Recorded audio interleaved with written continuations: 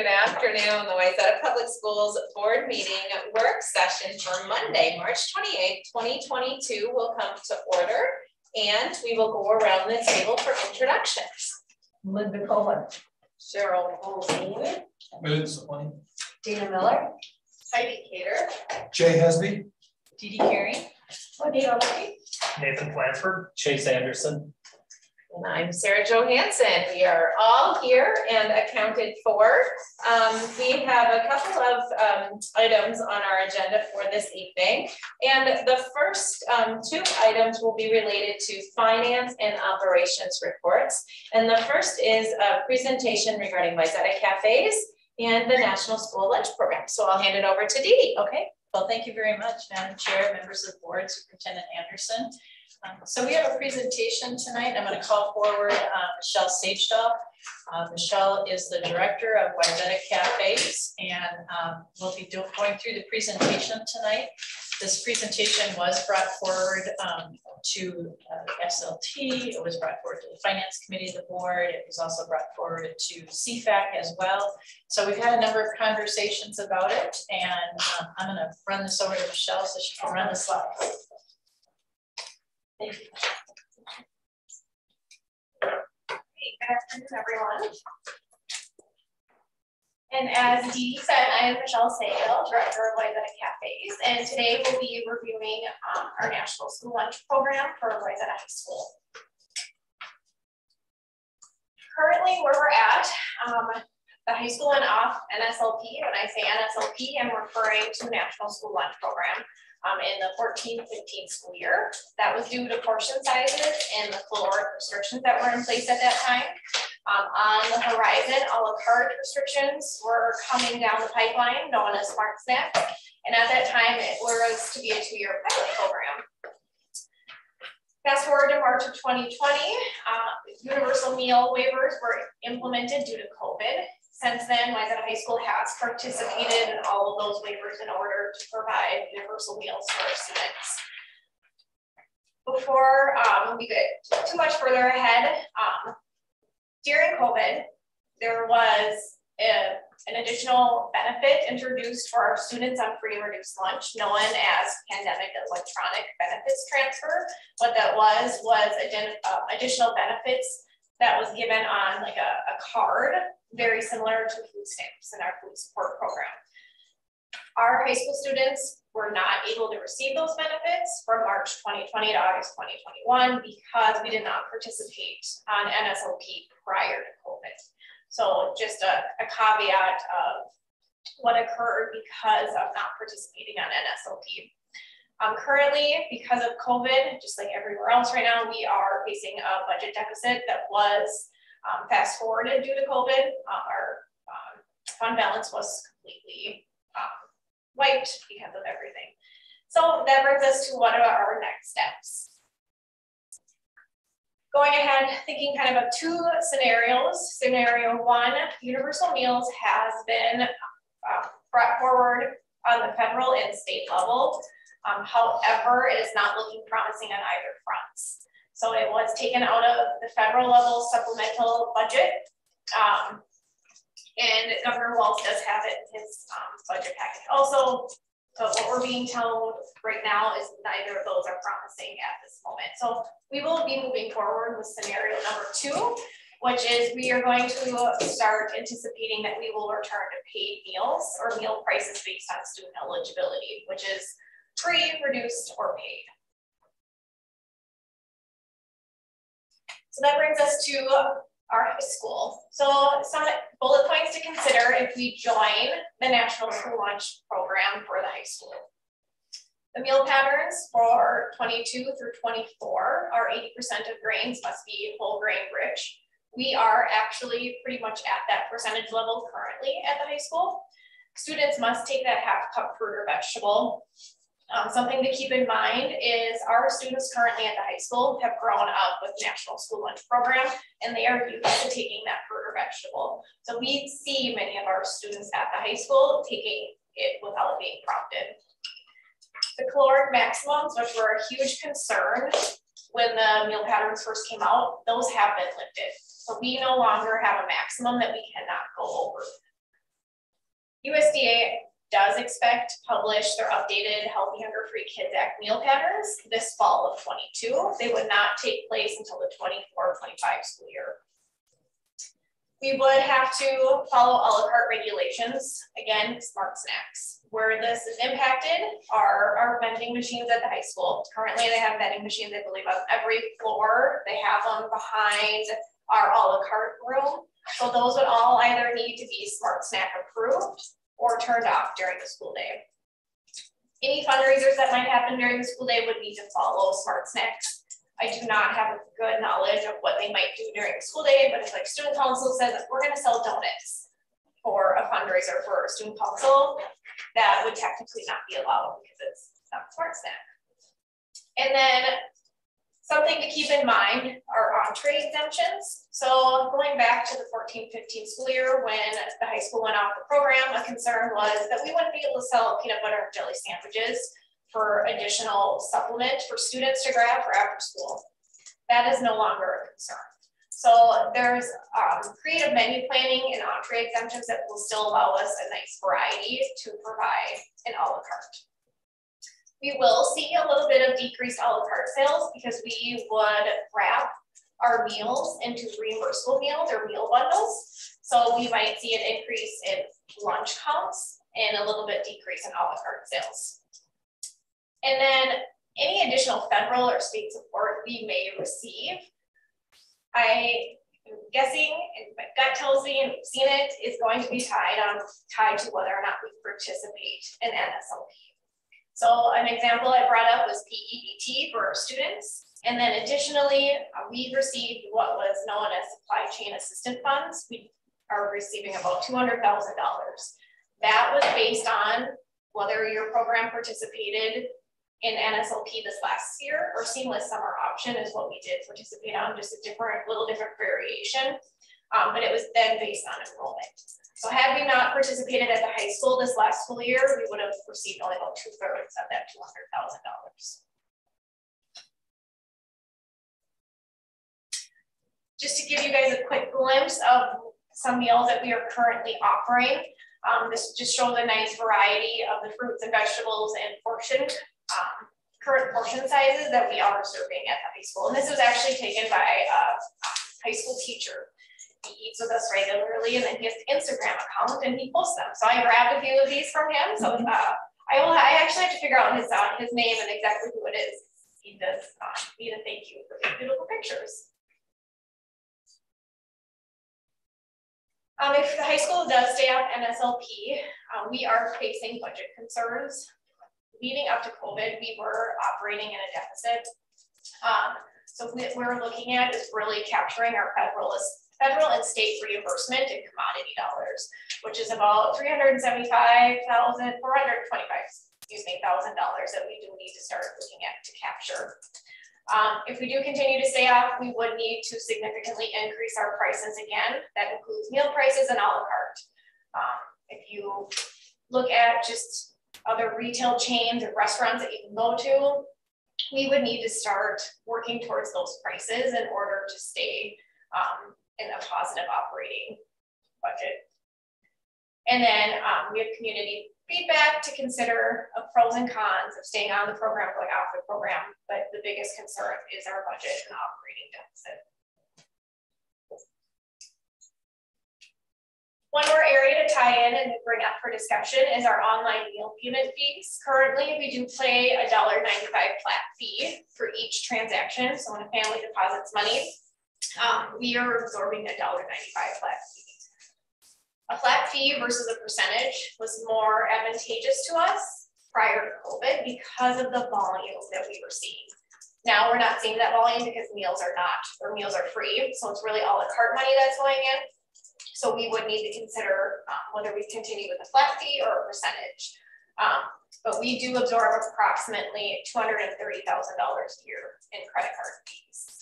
Uh, just quickly looking at what other surrounding districts um, do for their credit card fees. Orono, Eastern Carver County, and Westonka, their families do pay credit card fees. Um, Hopkins, ISD 196, Anoka Hennepin, and Mounds View. Food service does continue to absorb. Eden Prairie, the fee is split And then um, I did not hear back from Minnetonka and Osseo Maple Grove.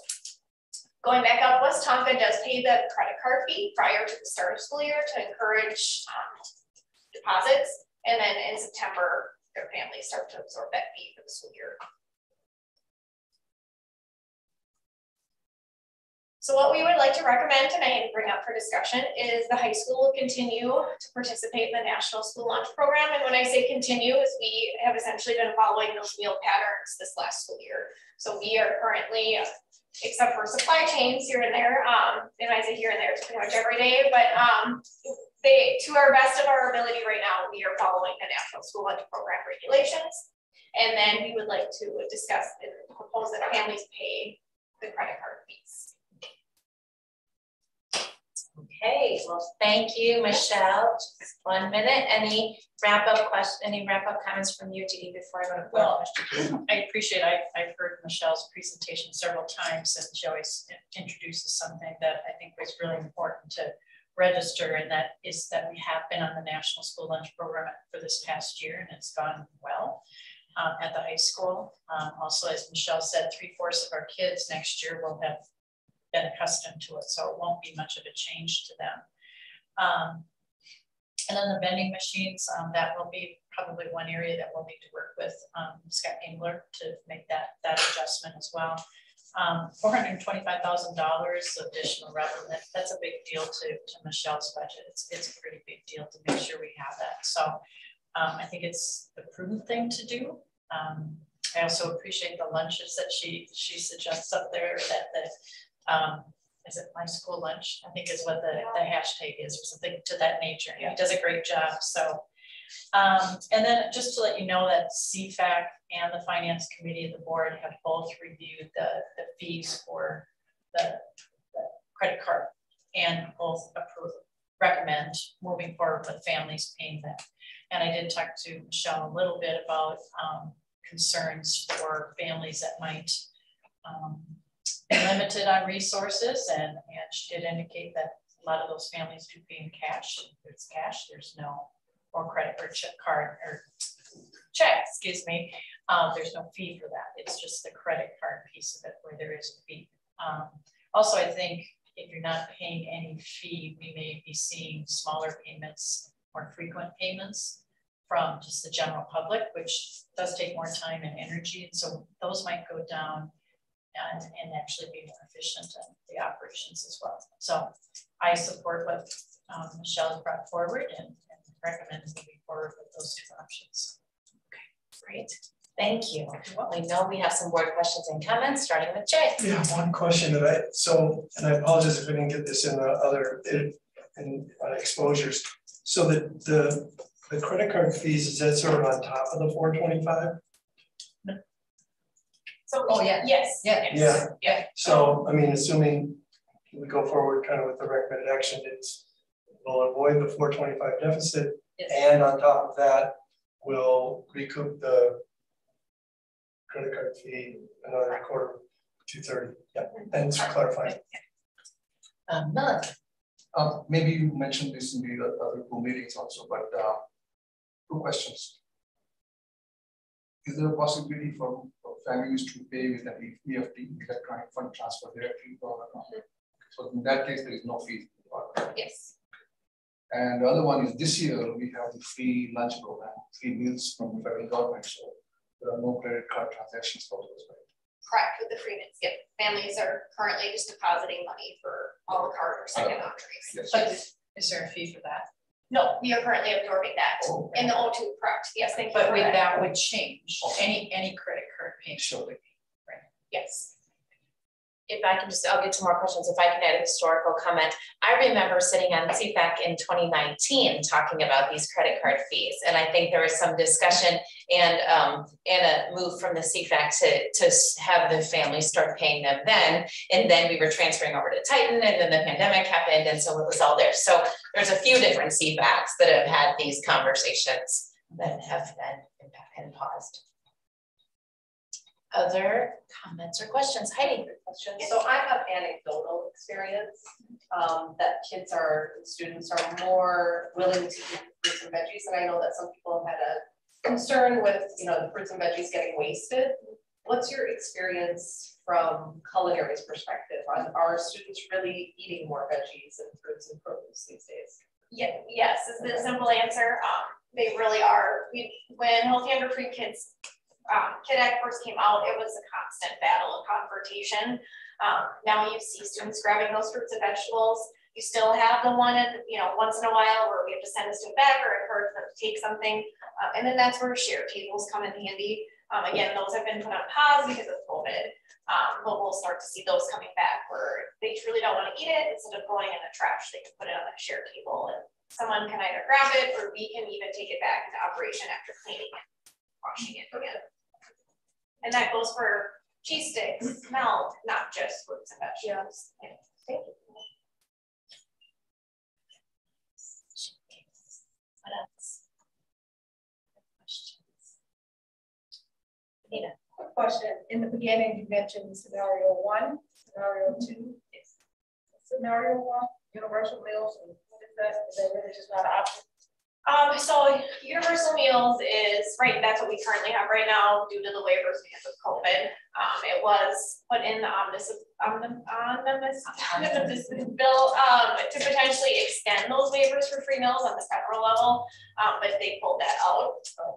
Um, so I, for all students. Yes. All students, regardless of their financial capabilities. Okay. And I think that's the clarity. That's the okay. universal means. Yep. Everyone is getting it at Okay. yeah, free.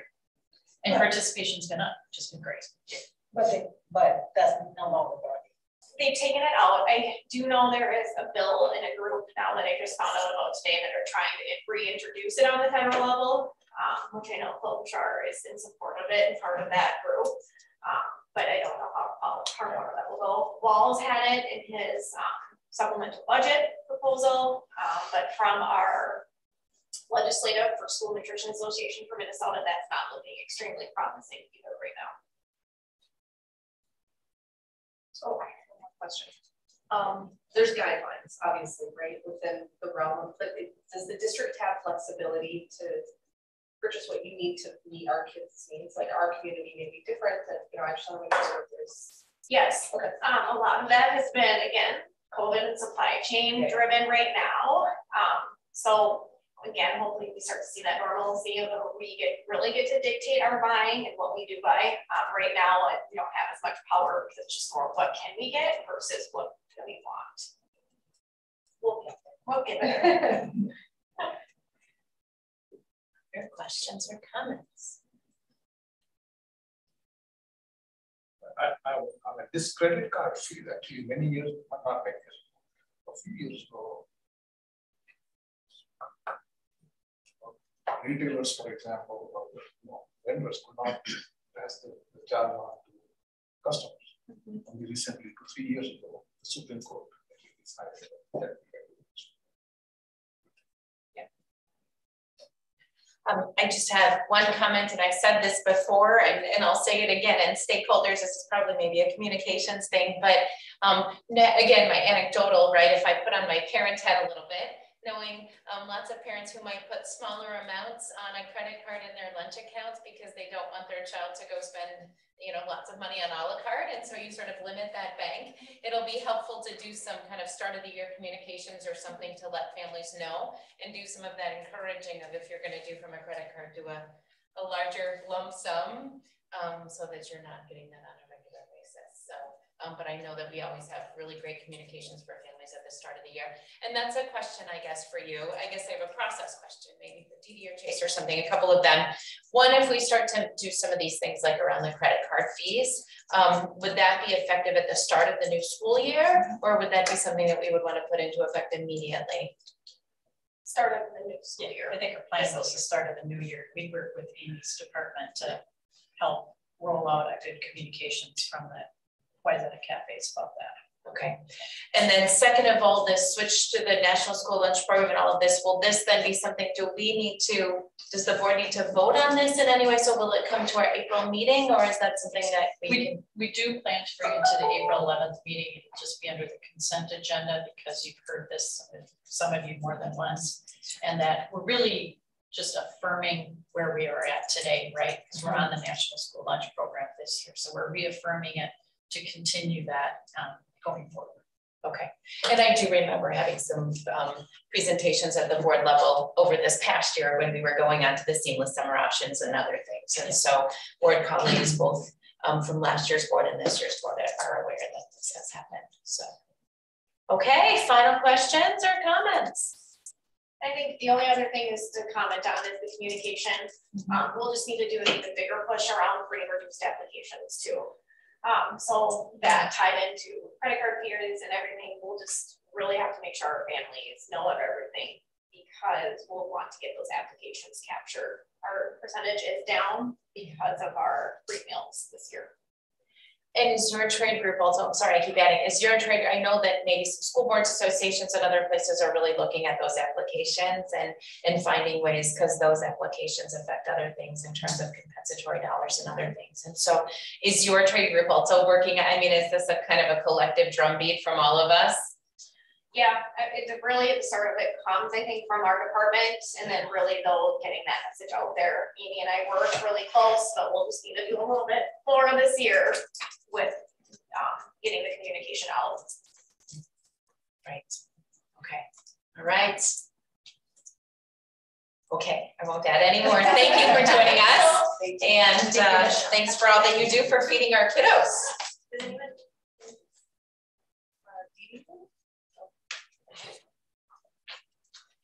Okay, and, and we have one more item on uh, finance and operations reports, and, and that's some general budget updates. I'll let Dee started off with that too. Certainly.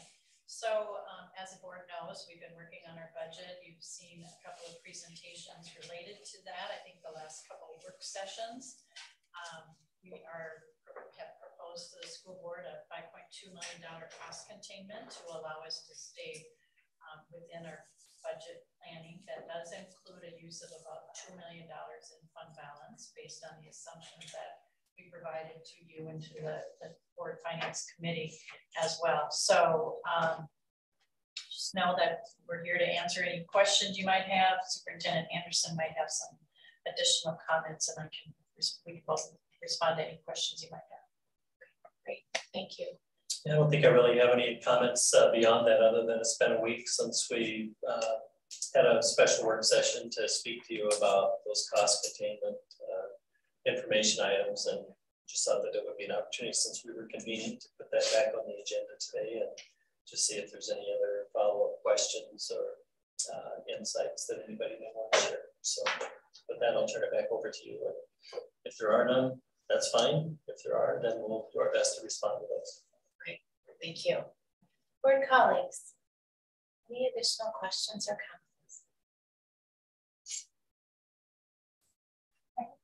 Question.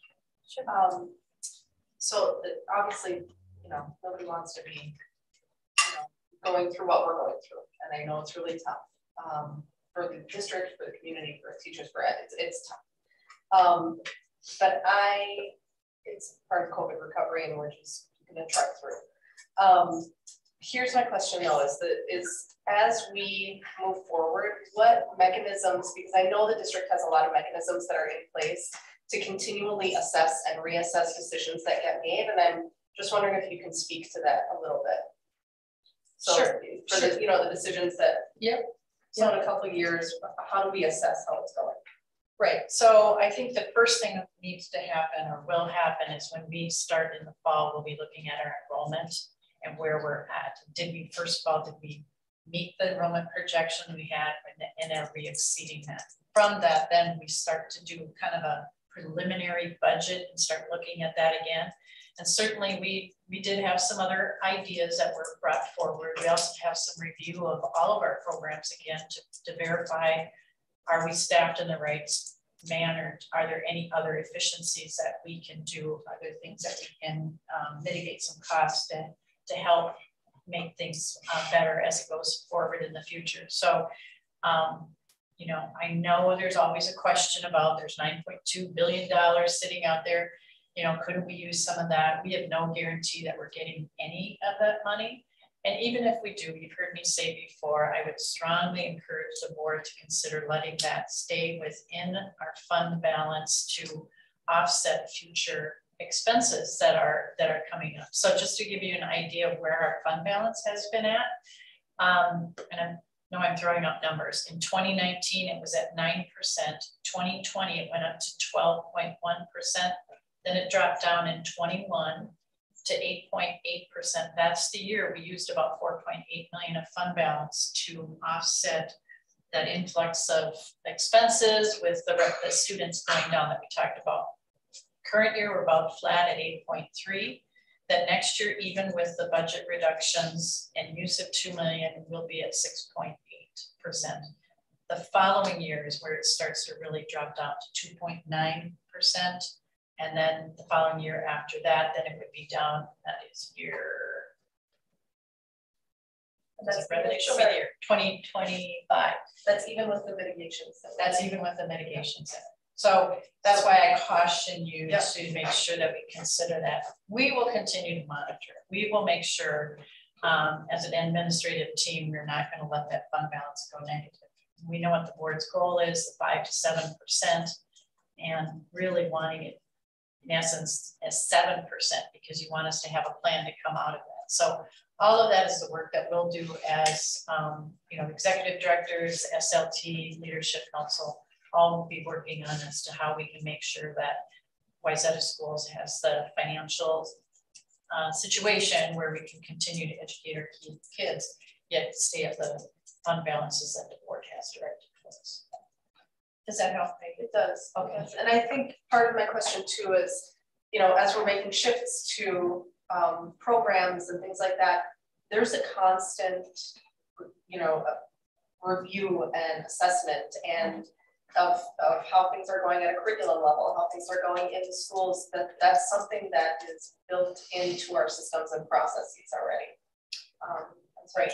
And we, we, we did have conversations about that at, um, at SLT. How are we going to look? We're doing the middle school review right now. How does that look? How does that affect anything with the budget? We certainly will look at elementary, we'll look at the high school, we'll look at any other program and say, where are we at? How does it work? Is this, is this leading up to where we want to provide the best education we can, but are there any operational costs that we can do some savings on? Cheryl, just a quick sort of side question. How much does that affect our AAA bond rating when we go out and assessed? Our fund balance, keeping it within the parameters? Is that, do they look at that a lot or just a little? Yes, they certainly look at our fund balance as one of the options, one of the um, markers for where our triple bond rating is at. They also look at um, what level of support do we have from our community and our operating referenda is at the highest, it's at the cap, right? And that is a big, big um, factor in it because we're not always reliant on um, as much state aid. So most school districts, I would say around that 70 to 75% on state aid. I think ours is closer to 60% on state aid. So they recognize that as being a plus because the state cannot, they can sometimes not appropriate funds to the community, whereas the operating referendum does provide that ongoing support until it has to be renewed. But we've had very good success right here. So um, those two factors, management of it, having a plan, of those are all factors in looking at credit rating. And quite frankly, the, the, the community and the, um, the affluency of the community is also a factor in too. So it's not just the school districts, it's also the community support as well. And Didi, would you, I would think sometimes those two work connected with each other. So the AAA bond rating looks at our operating referenda and our community support, right? And then our community looks at our AAA bond rating and the fact that the district does work to tighten their belt and do other things to say, we know the district spends our money wisely, right. we will trust you. And so it feels like this symbiotic relationship where, you know, we're working to um, gain trust and respect from both sides. Yep. A virtuous circle. A virtuous circle is what Mr. Esri tells us. Yes. Was that a second question too, or just a? No, yeah, I did one question. So too, as we look beyond the 22, 23 and into those future where, you know, there's really conservative assumptions on the growth in the formula. And presumably, you know, we're going to see the formula rate go up and reflect some inflationary factors, but as of now, those aren't in there and is that, We do, we do have some, we have like Some. the two percent because I, we've been getting Yep. that pretty steady now for a number of years. There's no inflation factor on top of that. Um, and we don't have like a huge enrollment influx in here either. Okay. So that's where, going back to what I said what earlier when Heidi's question is, we have to continue to monitor and look at where we're at with our enrollment because that's our number one driver of how we get funds, right? On top of the state funding formula. But having the kids and the operational efficiencies of having our schools full is, is, is a real plus to us.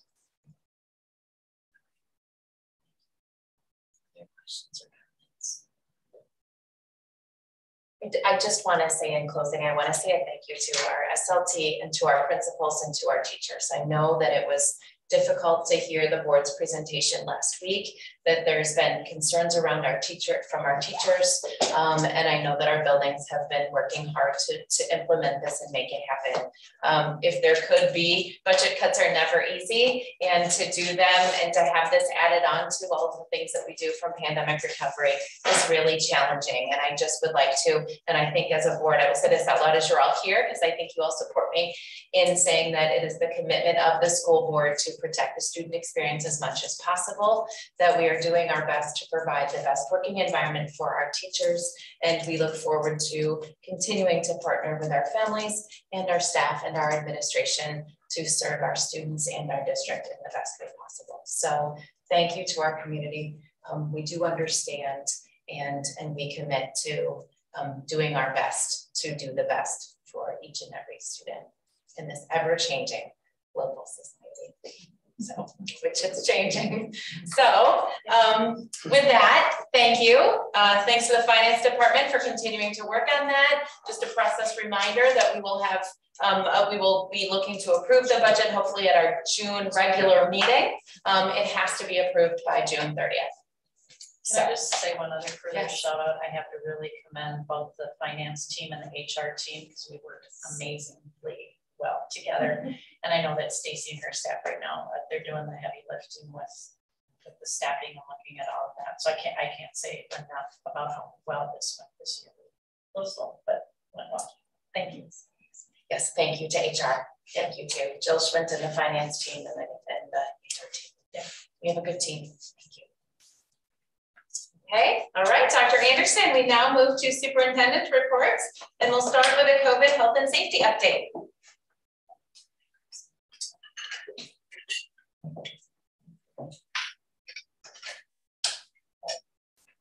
Thank you, Madam Chair, members of the board. Uh, Team leadership team that's here uh, with today, thank you so much.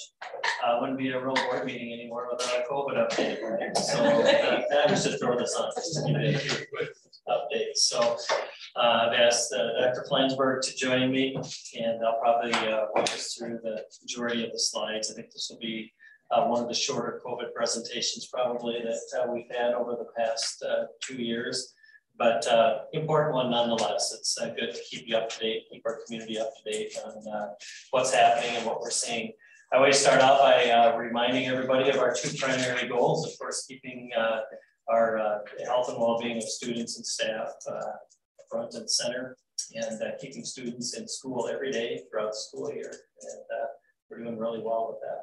So far, so good. And uh, we're eyeing the finish line and uh, uh, planning to let that uh, uh, be the case throughout the remainder of the school year.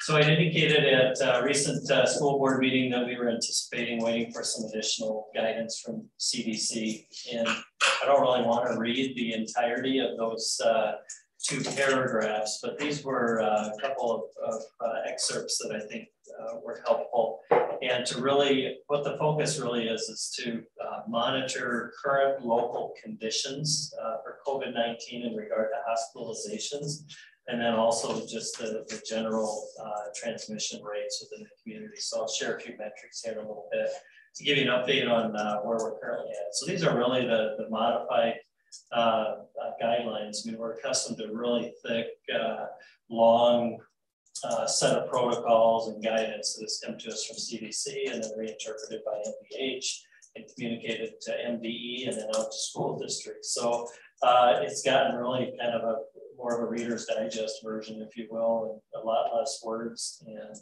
uh, helpful nonetheless, but it's uh, it looks different than it, than it used to.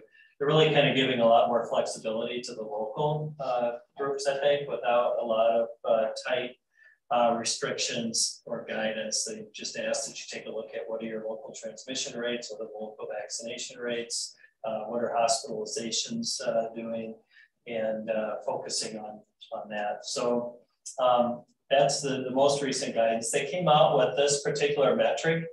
Took me a while, I studied it to try to figure out exactly where all of the numbers fit in and, and found the, the place where um, the information can be uh, discovered for uh, these different categories. So if you look at the three color coding system um, and the yellow highlights of fewer than 200 or 200 or more, that lines up with that infamous Wolfson number that we've been speaking about the uh, number of cases over a seven day period per 100,000 residents as is indicated in that column above where it says fewer than 200 and 200 or more.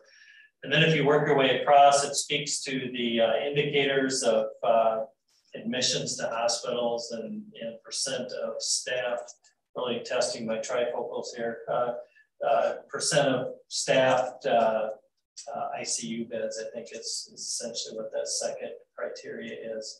The low transmission is demonstrated by the green, and it's a, a less than 10% uh, for um, the uh, those indicators for admissions and also ICU beds. And then for uh, medium and high, you can see that it has uh, indicators for both fewer than 200 and 200 or more for medium and high. So really what they're saying is when you're in the low and medium, you can probably get by with uh, lesser restrictive measures in schools and or anywhere that you're at really when indoors.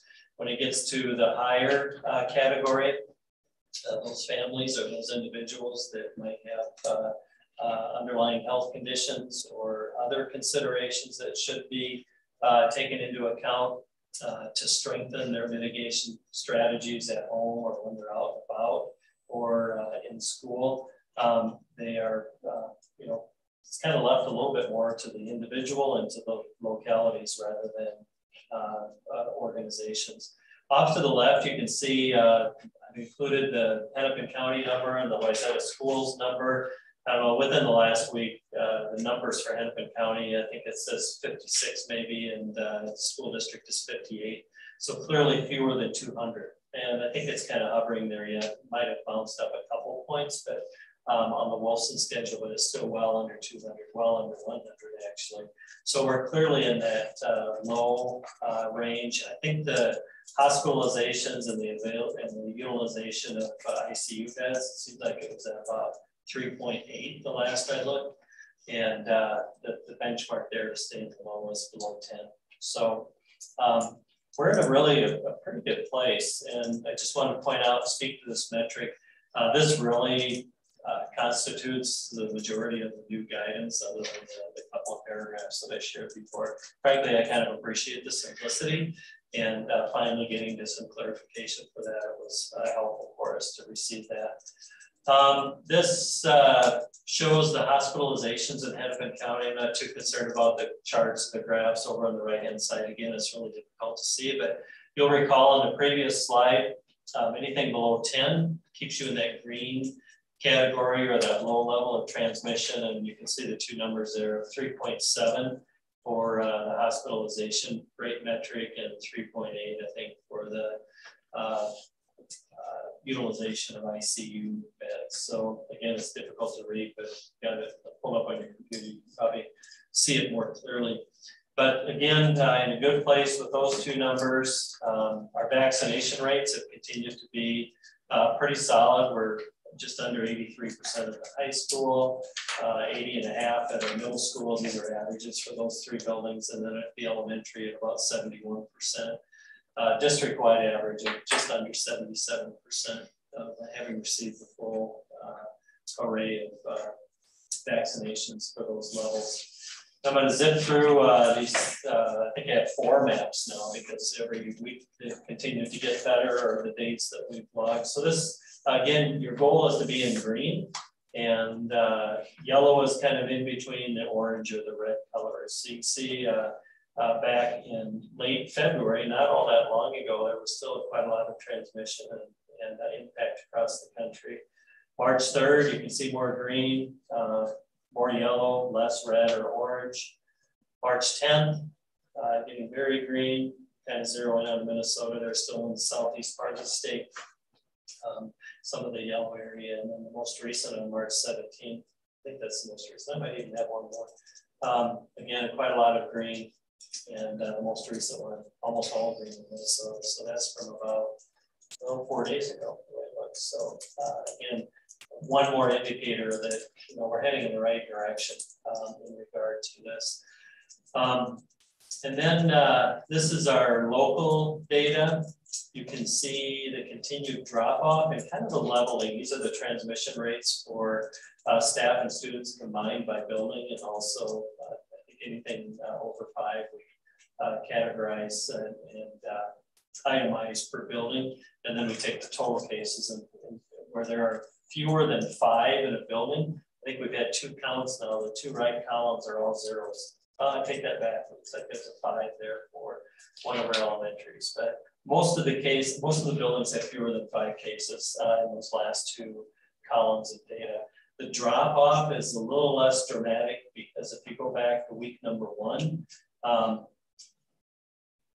compare that to like a few weeks ago, you might remember that bar graph really dropped rapidly, but now, you know, the change is a little less impactful in the way this chart uh, generates. Um, you know, it shows from uh, first column to final. So it, it has leveled off a little bit, but it's leveled off at a, a really good rate for us. This is uh, our infamous chart of the local cities that comprise uh, the majority of our school district. You can see the nice trend lines on the far right column, continuously moving downward. The color coding, uh, red is a long time in our past. I think that goes back to, it looks like about January, uh, end of January probably. And then the orange is uh, intermediate step, yellow is getting better, and green is really the goal. So we bounced into some of the green numbers uh, for the suburban areas, uh, kind of that cluster of uh, suburban areas in the Northwest and in the West and South. So again, uh, heading in the right direction with that.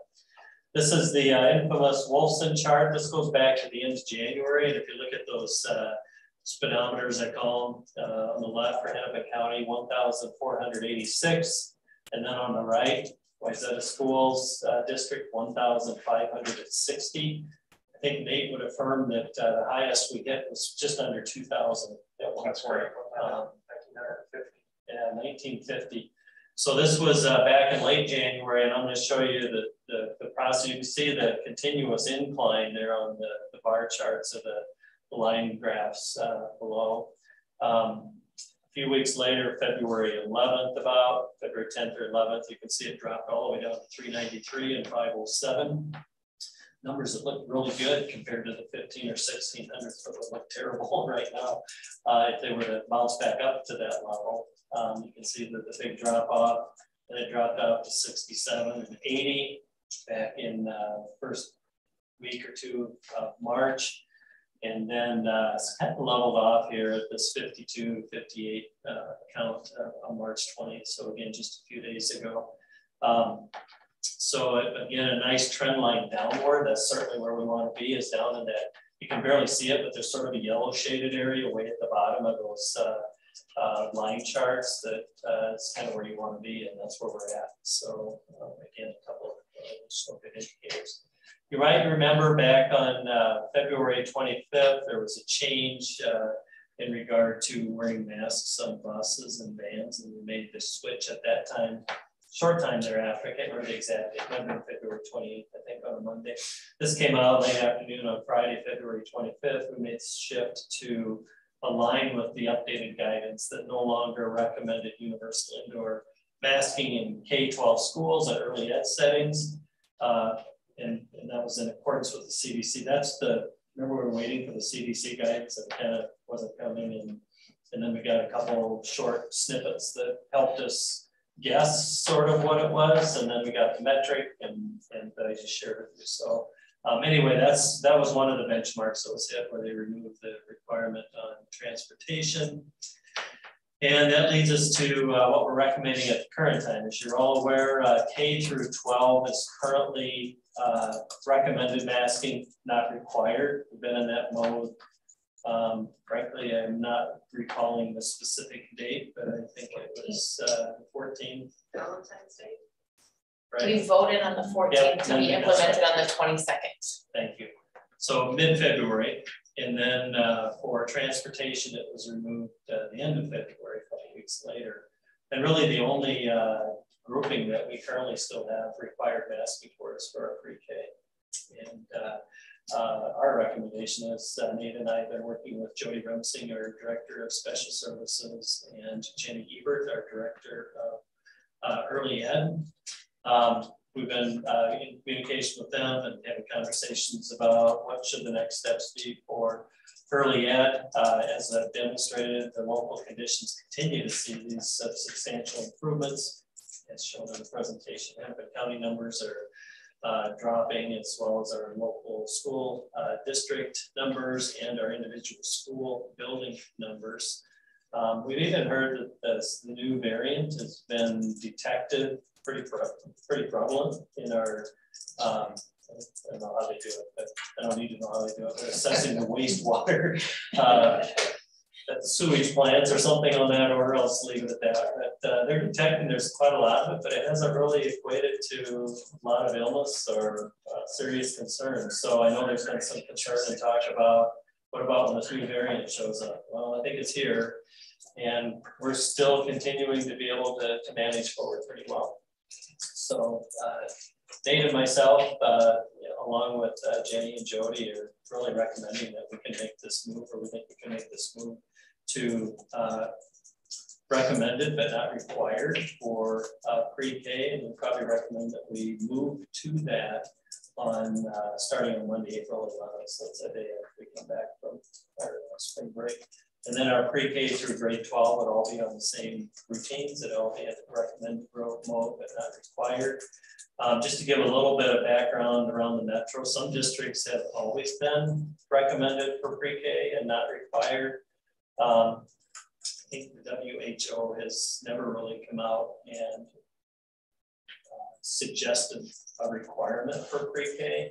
But we've always taken our guidance from CDC and then MDH, and CDC and MDH have, uh, for much of the pandemic up until recently, uh, indicated they that they recommend uh, universal requirement for pre-K, and actually uh, for pre-K through grade 12, but they aren't in a position to uh, require it. So anyway, it's our recommendation that we move to full pre-K through grade 12. Um, to be recommended, not required, effective Monday, April 11th, the day we come back from spring break.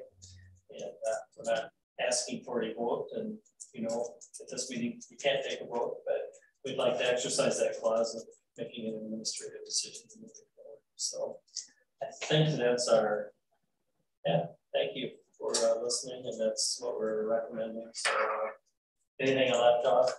No, I think the, I think the big one is, again, just to reiterate, uh, when we saw that initial statement come out from the CDC, there was almost an indication that more guidance or more clarification would be coming. Then the last week or so, the Department of Health, Minnesota's Department of Health, had really updated their language online to say, follow the community guidance by the CDC, including early childhood all the way through. So with that shift, we're aligning, and we've always said the CDC and MDH, and MDH is clearly articulating follow the community guidance. So that's what we are recommending.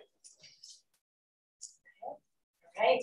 Thank you very much for that presentation and that consistency. It is helpful. Um, Millen, I see your hand first.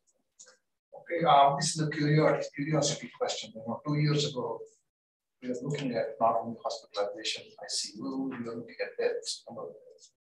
So just out of curiosity, now we have so such a small number of hospital patients, ICUs. Where are the death numbers? I hope it's not nothing, not non-existent, right?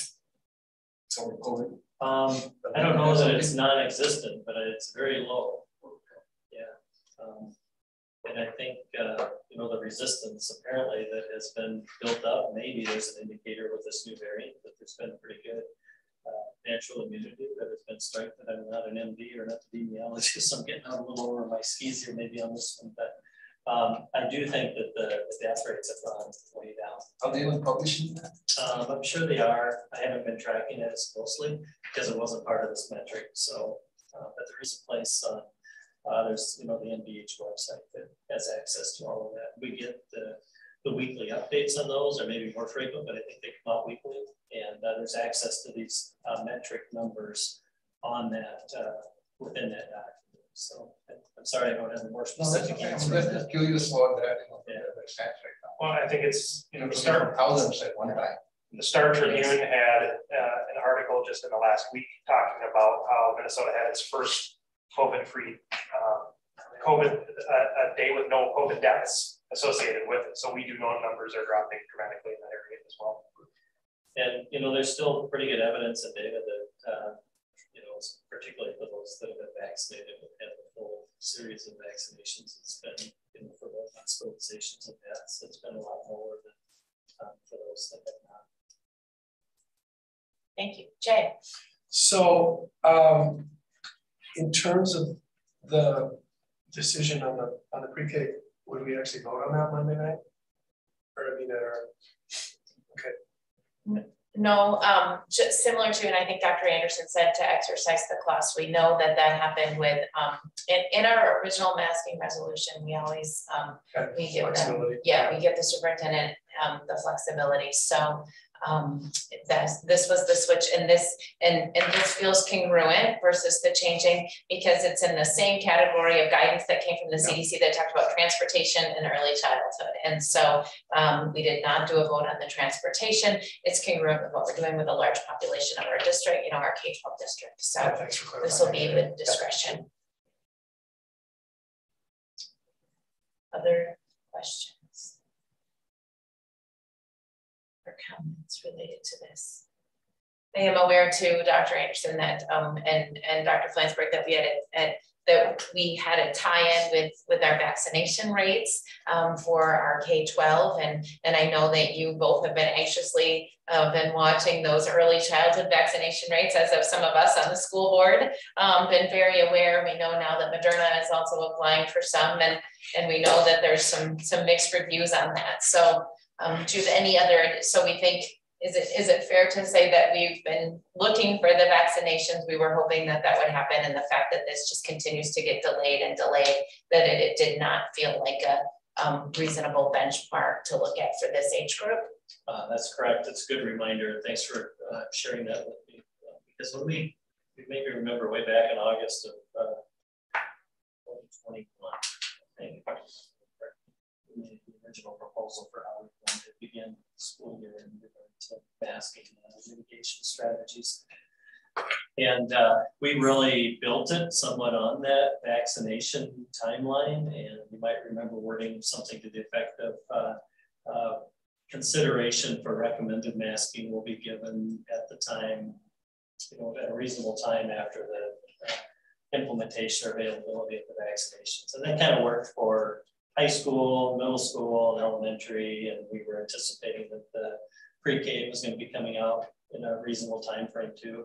And then it got delayed uh, with no uh, definite date on it, although I heard that there is one now, I forget which uh, manufacturer was that they're seeking uh, authorization to move forward with it before full to the FDA.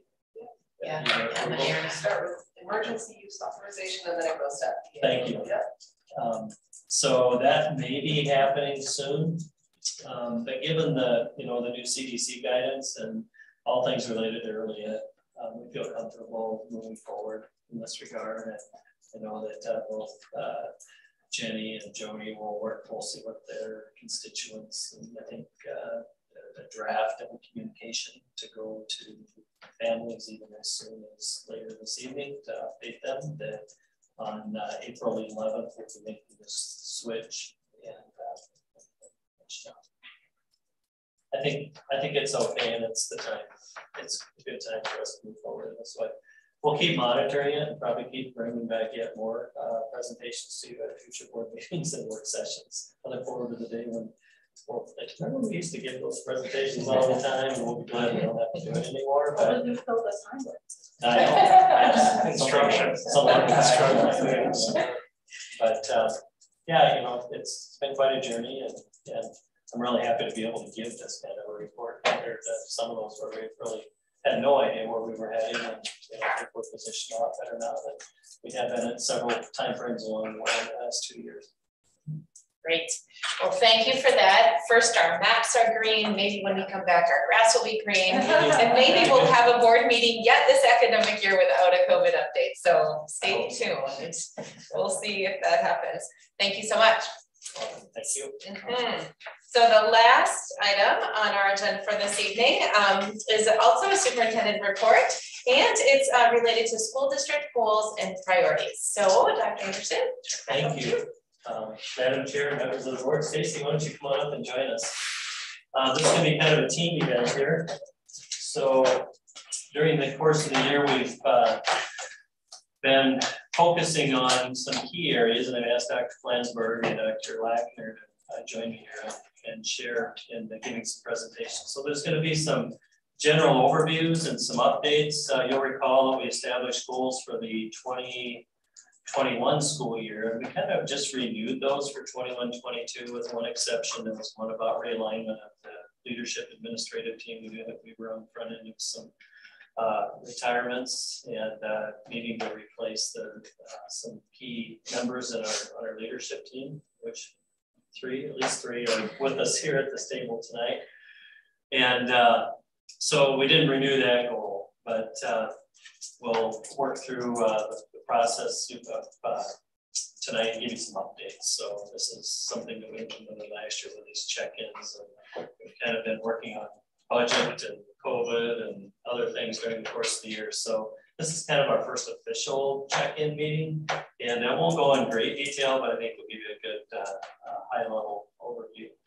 So the four goal areas that, uh, and again, these go back early to 2021, and then we rolled it forward to 21, 22, included uh, improving racial equity across uh, Wayzata Public Schools, focusing on reducing the opportunity achievement gap, enhancing the focus on health and well-being of Wayzata students. And then uh, this fourth one is uh, newer, the new one for the current year that we included, and that's this focus on instruction. And we feel that uh, our engagement with the Center for Educational Leadership, which is centered at the University of Washington, and they're working in partnership with uh, the University of Minnesota. And we have a number of our team that is uh, participating in both the Principal Supervisor Academy, I think we have three principals, and our Instructional Leadership Academy, which uh, includes a number of our SL team members. And uh, we'll talk a little bit more about that uh, in a little bit. So I'll share a few thoughts about uh, number one. Stacy's going to take the lead on uh, number two and provide some updates on standardized testing. As you know, that's kind of been blown off course as a result of COVID. So we have uh, data strands and uh, year-to-year data points for a number of years uh, that you've seen in previous board meetings or work sessions, uh, maybe with the exception of Millen and Heidi as new school board members and maybe Jay as a returning school board member, but we will be giving the MCAs and other standardized tests again in the spring. And then at the appropriate time, when we get those results back, we'll be uh, providing some updates on that um, as well. Um, so I also always want to point out that we have a number of operational things that we're focusing on. I heard a little bit about the budget last week and again tonight. So preparation of the budget obviously is a, a big lift for HR and uh, finance team right now, and all of us really continue to focus on that continued management of COVID, although I'd say it's getting easier, but kind of is, you know, comparatively, the, the lift on that is, is more manageable. And I don't think we're consumed 26 hours a day thinking about COVID and about it uh, nonstop and how we can best move forward. Um, aligning the work of our leadership team members. So I mentioned uh, some new team members, associate superintendent, executive directors in teaching and learning and finance, new director of athletics and activities, we're working on our directors of teaching and learning currently and uh, merging all of these new folks within our leadership council or SLT, which I didn't list there, but that's our strategy leadership team, a subcomponent of leadership council, and all of our school principals and leaders and teachers in our buildings. And then uh, all of the other standard work that finds us on a regular basis. Um, you'll uh, recognize this document, our strategic roadmap. Um, I'd like to just give quick reminders that we first developed that back in 2011. So that's been serving us for over a decade now, and I think really well. We reviewed and revised that in 2015 and then again in 2019. And uh, due to be reviewed, I don't know, either this year or maybe early next year, the board can kind of decide when it seems to make the most sense to do it. Probably would be good to get our new leaders kind of settled in and learn the lay of the land and and uh, help them be positioned in a, a better way to uh, be really strong contributors to that. Not that they couldn't now, but it's kind of nice to get to know, you know, the lay of the land a little bit, I think. So um, that would be something that will be on the radar for the coming year. Um, our mission, again, I think has served us really well. Our tagline is listed there, excellence for each and every student. That's sort of, again, the Reader's Digest version of the short version of the larger mission statement. I will read this because I think it has uh, implications and, and uh, the reinforcement will be good for uh, some of the other presentations that we're doing tonight. But the mission of Wayzata Public Schools is to ensure a world-class education that prepares each and every student to thrive today and excel tomorrow in an ever-changing global society. So I think our overriding goal is to really help ensure that our students enjoy the experience and the journey and not just looking forward to that destination of high school graduation or whatever you know, moving on to middle school or high school, uh, but really just enjoying and thriving today. And by uh, accomplishing that, we think that'll help position them to excel tomorrow. And the world is changing rapidly and uh, uh, continuing to uh, create new opportunities for all of our students. And you know, what can we do to help ensure that they're the best prepared for those next chapters that they possibly can be. Our vision statement, uh, recognize these three uh, areas, the exceptional student learning experiences and relationships, community trust, confidence, and partnership, and operational excellence. And if we were to go back and look at the roadmap I showed you a little bit ago, you know that there are some bullet points underneath of each one of these, but we won't go into uh, all of that uh, with a great deal of, of, detail. What we really want for our students to uh, you know, discover their unique talents and to love this develop this love and tenacity for learning and, and have confidence uh, for their own capacity for future success. And we think through these three uh, key areas, uh, we position them in the best way possible. That uh, vision statement, many of you in the room have heard me talk uh, uh, on and on sometimes about this book, Discipline of Market Leaders. I think it's a really good organizational design book that we stumbled across uh, shortly before that 2011 timeframe where we created our new roadmap. And uh, we utilized this. I think it's been really helpful. And, and a couple of uh, findings of this research that I've always really liked is that through this review and, and analysis of, of uh, organizations that they researched, they, they found really that uh, they, they have a high focus or a strong focus in all three of these areas, what they call product leadership, customer intimacy, and operational excellence. So three buckets, if you will, of essentials that solid organizations uh, need to have. If you think back to this slide and then look at uh, the bullet point underneath each one of these, our product leaders, our products and our services really are exceptional student learning experiences and relationships. And customer intimacy, as uh, they called it, uh, the authors of this research called it, is that community trust, confidence, and partnership that we bring forth. And operational excellence kind of stands uh, on its own, where it's that balance of efficiency and effectiveness. You've got to hit that sweet spot as, to the best of your ability. You're never going to bat a thousand on any one of these three. But one of the findings was if you're not really humming at a high level in all three of these areas, you probably weren't on that list of these outstanding organizations that they looked at. And then it might be a little more applicable in the business world, but uh, successful businesses focus on one of these and because they don't have resources to drive all three off the charts, but they have to kind of choose the area where they compete. And again, I think it's a little less applicable in that finding, maybe for uh, public schools or other public entities, but not completely. I think you can still kind of prioritize on, on where you want to be. And just to kind of give you a quick visual, um, I'll just share a few organizations that are sometimes uh, highlighted or, or, included with this. But a, a, product leader would be, for example, Apple. So whatever comes to mind for you right now with Apple, that's a product leader. the customer intimate organization would be sometimes Nordstrom's or IBM are listed for that, being responsive to the unique needs of the, the customer. Not so much about here's what we have to offer and what we want to sell you, but what do you need? And here's what we can provide to you. And we know that you need this. We're not, we're not as good at that. You might want to think about going to one of our vendors or competitors or somebody else. And again, the overriding goal is we want our customer to be satisfied. And we'll do whatever we can and need to to help make that happen. And then finally, uh, for operational excellence, sometimes uh, uh, Walmart or uh, Southwest Airlines are identified as an operationally excellent organization. High quality products, maybe not uh, as much glamour or as much of the uh, special touches maybe on, on design and, and yeah, effect that they established but high quality product that can meet that needs. So probably more than you ever want to know about this book, but it's a pretty good model. I like the organizational design to it. It's a lot like uh, Jim Collins' Good to Great. Um, personally, I think it's stronger because of this model that it laid out. And uh, but I think a lot of the similar types of, of uh, that they looked at. Um, our core values include uh, six. The first three include achievement, collaboration, community. These have stayed pretty uh, uh, steady throughout the, the, course of the life cycle of our roadmap as well. And then our other three are equity, integrity, and respect. And again, I think they've uh, served us well and actually were used as we developed uh, our equity commitment and the board took action on last April. Really our goal with that was to help strengthen our mission and vision to help bring forth this excellence for each and every student and to help ensure that we are delivering on that. Um, we still have varying degrees of, of uh, success within our school district. We strive for a very high level of uh, excellence for each and every student as our mission calls us to do.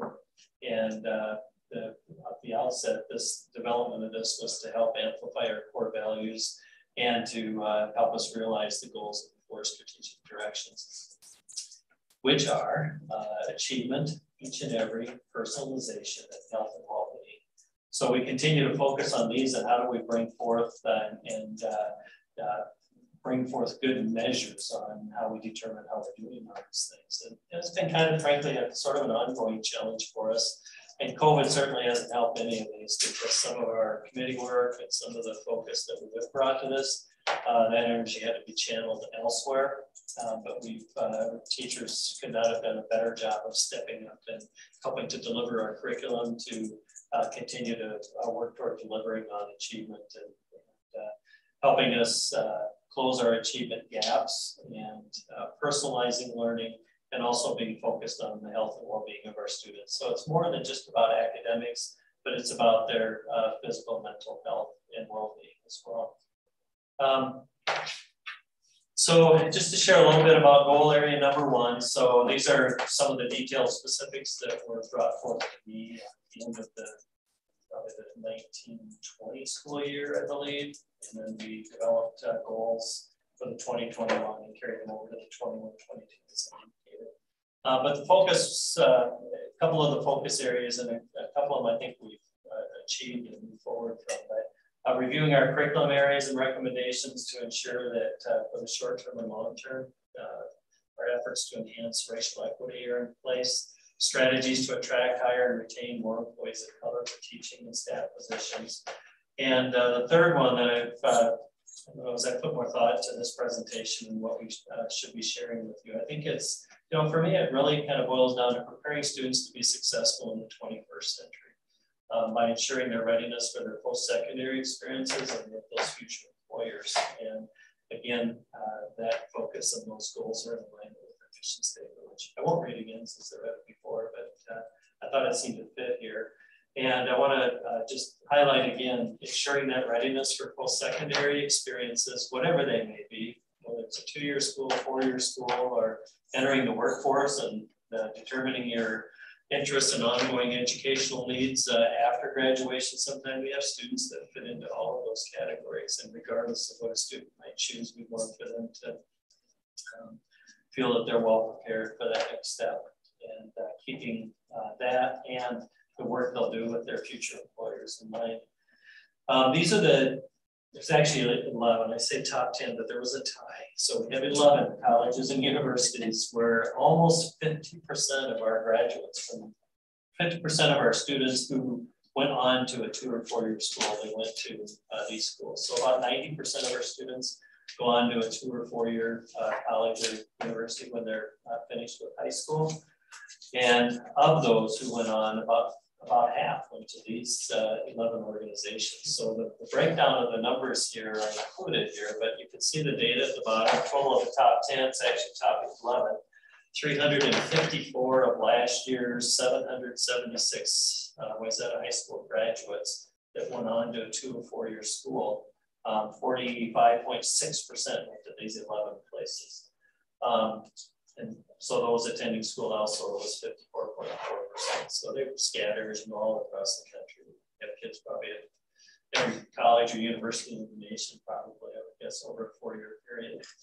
And our total college bound students, uh, 776 of our 866 graduates last year had indicated uh, their intent to go to a two or four year school. I was kind of interested uh, in alignment with our mission to help prepare students for uh, the, the, global world that uh, our mission calls us to help prepare students for. I thought it'd be kind of interesting to pull these 11 schools up and uh, just do a little bit of research online about know, what, are, what is their focus on diversity, equity, and inclusion? So I've included the websites here. I'm not going to pull them up or speak to any one college or university. I don't feel authorized to speak in behalf of these uh, colleges and universities, but for your convenience, I included them here. So again, about 50% of our students that are heading off to uh, two or four year school are heading to uh, these uh, enterprises, and uh, they all have some presence and some focus obviously on diversity, equity, and inclusion. I also did a little research on our Fortune 500 companies in Minnesota. Listed about 18 um, and their ranking and uh, total revenues. Some of those numbers are, are, bigger than I can probably even recite, but those are in uh, uh, billions actually of dollars. So I thought for a dramatic effect, I would just put the whole number there instead of, uh, it made me feel it was sort of fun to put those big numbers on. But that's pretty impressive. Minnesota's always been known for having a pretty significant number of uh, Fortune 500 companies. And a lot of our graduates eventually are going to work for, you know, these companies. You know, I don't know what percentage, I don't have that data. Maybe it exists somewhere, but I don't have access to it. I don't know what it. But this, these are the workplaces that a lot of our graduates are, are heading to. And again, um, I was curious just to kind of find out what is what are their uh, areas of focus for DEI or diversity, equity, inclusion and uh, listed the couple pages of them here that have a presence on their website indicating the efforts that they're making and the value they're placing on diversifying the workforce and recognizing that that enhances the creativity and the, uh, the work that they're doing within their organization. So impressive list of uh, corporate uh, enterprises there and uh, uh, some looking very familiar to some of us in the room or all of us certainly. So um, you can pull those web links up, I think, from your board book if you're so inclined, uh, and you won't have to go scrounging for them on your own. So I just thought it might be interesting for uh, uh, you to get that some consideration. So that's sort of a quick flyover of goal number one. So the overriding theme of that is how do we best prepare our students who are graduating for their post-secondary educational experiences and their future employment. And uh, it's a, a, reminder that we do have a role and responsibility in that. And uh, having that be infused throughout the work that we're doing across the district. And what you're going to hear about uh, now that uh, Stacy's going to share a little bit more about is this focus on reducing the opportunity achievement gap for our students. And if you go back to that uh, uh, vision statement and those three prongs, you know, that idea, what are our products and services that we deliver to our students? That's got to be really strong to help us achieve this. And what are our operations that are in place to ensure that our funding and our priorities are supported within the, the budgets and, uh, the human resources that we're bringing to our uh, school districts? How do we help ensure that there's good alignment with that? And then of course that uh, ongoing focus on our, our customers, our students, their families, our larger community. We really have within the footprint of the school district about 70,000 customers who you know, comprise the residents in our district, of which about 24,000 are parents and, and twelve thousand are students. So somewhere right around half are directly connected to the schools. Uh, if, you, if you do the math on it, I think, I think my math is pretty close on that. But um, anyway, these are, some of the things that we focused on was, uh, you know, focusing on the opportunity achievement gaps. And because we use MCA so much for that, it's been kind of tough over the last few years because we really don't have good data for the last couple of uh, testing cycles. And uh, we'll be back in business with that, I think, this year, continuing to focus on short, medium, and long-term uh, plans to help reduce these gaps, uh, refreshing our scorecard. Kind of looks a little different each year, but it's been really different the last couple years because a lot of the data points weren't available to us. And uh, also doing our best to learn from what did we learn from the pandemic and how can we incorporate those things we learned in crisis to uh, help make us better. And I think a lot of what we're doing today, I don't think I could give you a quick list, but I've had a lot of instruction happening in the schools now while kids are back in person to strengthen as a result of the challenges that our teachers face. And I think that'll continue to be refined. But this time I'm going to turn it over to Dr. Lachter, who's uh, going to share a few slides here that relate to this. Thank you, Dr. Anderson. Um, so what I'd like to do first is just provide a little background and refresher about how we're approaching our student outcomes data this year. Um, so last uh, summer, both Solveig Haraday and I were recommended this book Street Data um, from different from different um, people in different circles that we're in. And so we took a deep dive into this over the summer and we had our um, building principals and our district leadership read through this um, approach to looking at student outcome data from multiple different levels, especially with our learning among with the pandemic, is that we had different types of data available to us. So the, the ideas in this book by um, Shane Safir and Jamila Dugan, um, and I, I apologize, I don't have the citation here on the slide, but I will get that. Um, the premise of that is that there are three different levels of data. You've got the broad overview of um, trends and um, things that are going on at, for the broad um, population of students. So that's your MCA data, the state accountability data, graduation rates, um, attendance, all of those things that tell you how the system is doing as a whole. Then you have the next level of data, which is what they call the MAP data. So that's a little bit closer to the individual student, and that's your student um, and family surveys, common assessments, district standardized assessments. And then you also at the bottom, or at the, the closest level to the student, you've got your street data. Um, you're looking at formative assessments, uh, school um, student work, interviews with students, and all of, all of those really rich pieces of information that um, tell the uh, teacher and the student how they're learning and how they're progressing. So we have our buildings are doing a lot this year around street data and collecting that information in the classroom. What I'm going to talk about um, today is the satellite data and the map data that we're, we're also collecting this year.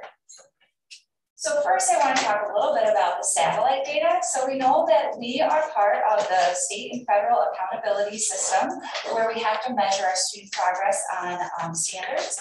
And for the academic standards, we have the MCA and the MTAS. For English learner proficiency standards, we have the access for ELs, and I'll go into that in the next few slides.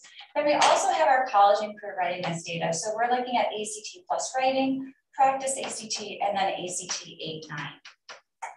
So first, just to talk a little bit about the MCA and MTAS data, um, just for those of you who may be new or just need a refresher, um, the MCA and MTAS measured the degree to which schools are teaching the academic standards adopted by Minnesota. So all of our students in grades three through eight and 10 take the reading test. Students in grades three through eight and 11 take the math test. And students in grades five, eight, and high school take the science test. Most students take the MCA, so the Minnesota Comprehensive Assessments, and our students with the most significant cognitive needs, about 1% of our students take the Minnesota Test of Academic Skills. So they're both tests within the um, academic accountability state testing system. For this school year, um, we don't have, there are no COVID-related administration, administration exceptions. Previously, in the 2021 school year, we were allowed to um, have parents opt into a COVID-related excuse, or they, they could opt out due to COVID reasons. That's no longer the case this year. Students either have to take the test or unless they have a medical, they can't, if they have a medical excuse, then that would be a reason not to take the test. So those are two options, students test or they have a medical excuse. And as in, in all years that we've had the MCA, parents still can opt out of the test. However, that's not something that, um, that's something that in the accountability calculations that actually comes against us when parents opt out of tests. So we no longer have the option for parents to opt out due to COVID reasons and have it not count against us in the accountability system. There are some um, calculation um, adjustments that the state is making to the accountability system. So um, the federal um, government is refers to it as the Every Student Succeeds Act. Um, that's ESSA. And in Minnesota, it's called the North Star Accountability System. And in that, uh, for the um, achievement data, typically they look at three years of data to make those calculations um, to identify schools for need. And because of the pandemic, they have submitted a request for adjustment, which has been approved by the um, US Department of Education, that they're only gonna be looking at two years to calculate the, um, the district or the school need instead of three. And they'll be using the 2019 and 2000, um, 22 results where the 2019 um, results will be weighted twice as much as the 2022 results. Um, and then also just to let you know where we are in the testing season, our MCA testing started on Wednesday of last week, March 23rd, and will go through um, May 13th. That'll be the end of our testing window. So the next set of assessments for um, accountability are our access for ELL assessments, and this measures um, students' English language proficiency based on the WIDA English language standards that were adopted by the state of Minnesota. So all of our English learners in grades K through 12 take the access test every year, and students must score proficient on this test in order to exit EL services. And again, similar to the MCA and MTAS, there are no COVID-related administration exceptions for 2022.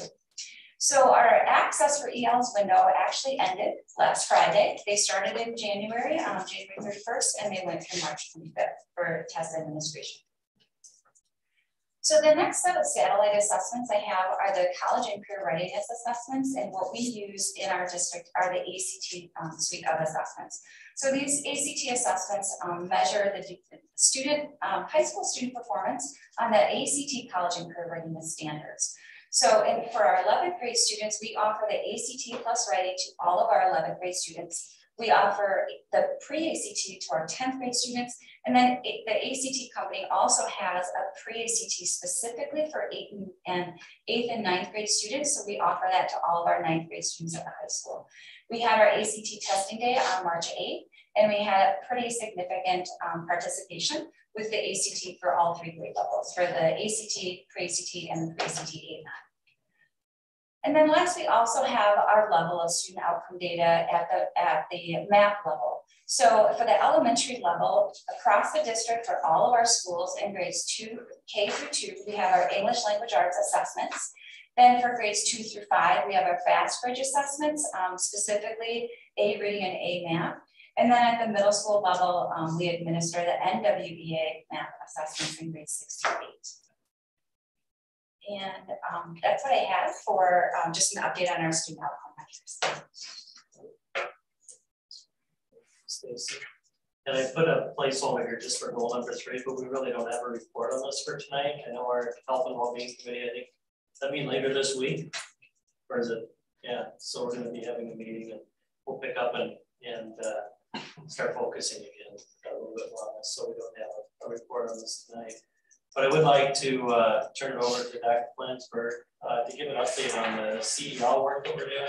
And really, uh, a key driver for almost everything we do is high quality instruction right within the classroom, between the classroom teacher and student and classmates, and uh, helping ensure that we maximize that.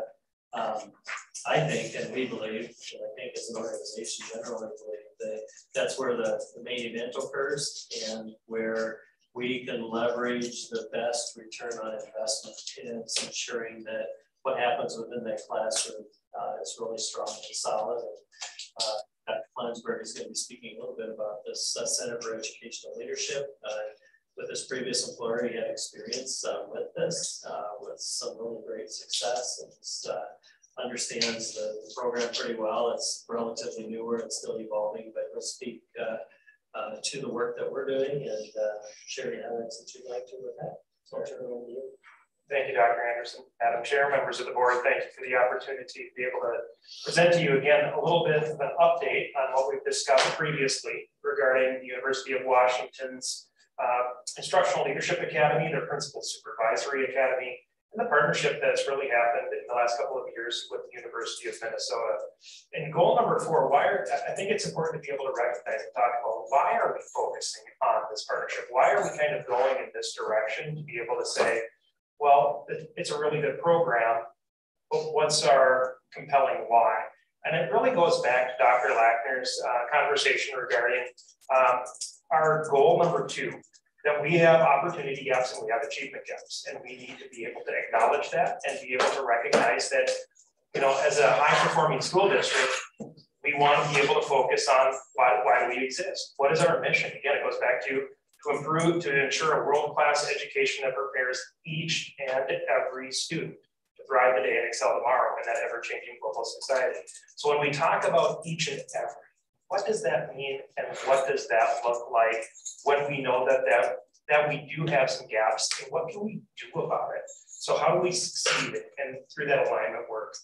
And it really is alignment work that has to take place. And it starts here in this room. It starts at the board level, the superintendent level, our strategic leadership team, down to our principals, to our teachers, and our students. This is called the, uh, the through line of instructional leadership. When we are here, we are all here for one reason, to ensure that our students have the best education that they can receive, no matter who they are.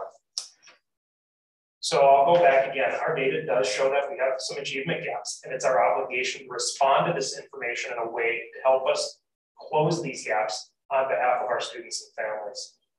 And as Dr. Anderson mentioned, my prior experience was working through the Instructional Leadership Academy and really having that opportunity to see that work in action. And even uh, coming on board when I was onboarding, one of my uh, reflections of that program is why did I like it? What was it that drew me to the work that was taking place? And I was able to be able to see how it actually aligned with prior best practice work already. It wasn't something that was new in many ways, but it was intentionally focused. And it was really driven on what are we doing in helping principals do better to help our teachers get better, and how are those systems really ending up in place to align our system. So the first thing that we begin with is the Principal Support Academy. And right now, uh, most of the members of the strategic leadership team uh, are attending the Principal Support Academy because it goes back to that through line of the alignment. And as a school board, you expect high expectations across the board. As a superintendent team, Dr. Anderson and I have those same high expectations. We want to be able to support our principals, and this is where the research will come in, and we'll talk about that in just a little bit, about why principals are going to be a significant lever in this work.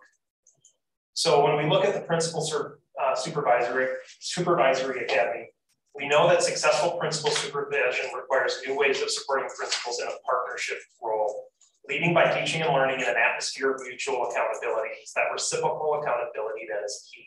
We want to see the principal performance improve at scale but find it challenging to lead forth. Principals Supervisory Academy gives our principals leadership strategies that are centered on supporting instructional leadership growth. I think we can all think back to what many of us might have experienced with principals when we were all growing up. I know I can think back to my elementary days. The principal, you know, was where you did not want to go if you were in trouble. You know, you needed to behave in the classroom so you were not sent to the principal's office. Uh, the principalship was really, uh, many, many years ago, very uh, focused on operations, and teachers were focused on achievement. So we talk about what drives principals' contributions and why are we making some of these shifts and really leveraging the work that our principals are doing. It's engaging that in that instructionally focused interactions with teachers. Calibrated walkthroughs are a significant portion of that producing a productive school climate. When you walk into the buildings, you know that you are welcome, they are inclusive, uh, kids feel that they belong. And that's part of uh, the strategic goal. When we talk about whole child coming into a building, not only do they feel welcome, know they belong, they have adults that they know care about them, they have other kids that they can connect with, and they're going to be challenged academically to really high and rigorous levels. We want to talk about uh, really focusing on facilitating that collaboration within the professional learning communities. I'm actually going to cycle back to this at the end of the PowerPoint when we talk about some of the MTSS work that we're also engaging in as part of the overall work around this. And then managing personnel and resources strategically. Where are our needs? Where are the students who are uh, specifically needing additional supports? And how are we building our systems and structures to provide those sports supports very specifically to each and every individual to make sure it's not about equality, everybody gets the same thing, but the equity side of it and making sure that each and every student gets exactly what they need. So when we talk about what impacts learning, there are some things that I want to highlight. And this is out of John Hattie's work. And uh, he's a professor who's done a significant meta-analysis of uh, hundreds of research articles. And he said, what are the biggest levers that bring about uh, high achievement within classrooms? And you can see at the top, there's being passionate. I really believe, and that's um, when we talk about implementation fidelity and believing that as a teacher, you make a difference. If you believe you can make a difference, you will make a difference. You're all in. But also monitoring impact. When we talk about the uh, PLC cycle, that plan, do, study, act, it's that ability to go back, review, what is the impact I'm actually having on student achievement? What do principals do within helping support the PLCs within their buildings? How are they helping monitor the impact and the learning? So teachers are planning collaboratively within a team. They're going out focusing on structure instructional strategies. They come back, they review the data, and once that data is reviewed, knowing which students need additional support and what are they individually going to be able to do about that. When we talk about strong relationships, we focus and realize that's one of the main uh, reasons we build those strong relationships with kids, with teachers, and we know that when kids feel that they have somebody to connect with, they're going to work harder in those relationships. And also professional development. And I'm going to focus on that last one evidence-based teaching. So we really want to, as Dr. Anderson talked about, refine and get better at instruction. When we get better at instruction, students can get what they need individually. So that high impact, the top range of factors which greatly accelerated learning were contributed by the teacher themselves or the teacher teaching instructional strategies. And I'm going to really highlight the third bullet point, emphasizing feedback. Feedback is not only important for students, it's important for teachers. And that's what the principal supervisory academy focuses on for us, is calibrating what high quality feedback looks like for teachers to improve instruction in the classroom. Again, the compelling why, we know that teacher quality is the number one impact on student learning. Principal quality is the number two. So we recognize effective principal supervisors leads to effective principal leadership, leads to effective teaching, which leads to student success for all. We talked about before, what is the research that actually shows us that principals make that impact? So commissioned by the Wallace Foundation, it was a, a synthesis of two decades of research and showing that principals had a far greater reach on student achievement than was previously thought. In fact, principals in the top quartile, an average student, and I'd like people to focus on that, not just the high achieving students, an average student gains an additional three months of instructional knowledge if they have a high achieving principal. So what does that mean and what does that look like? They're providing feedback to teachers. They're doing regular walkthroughs.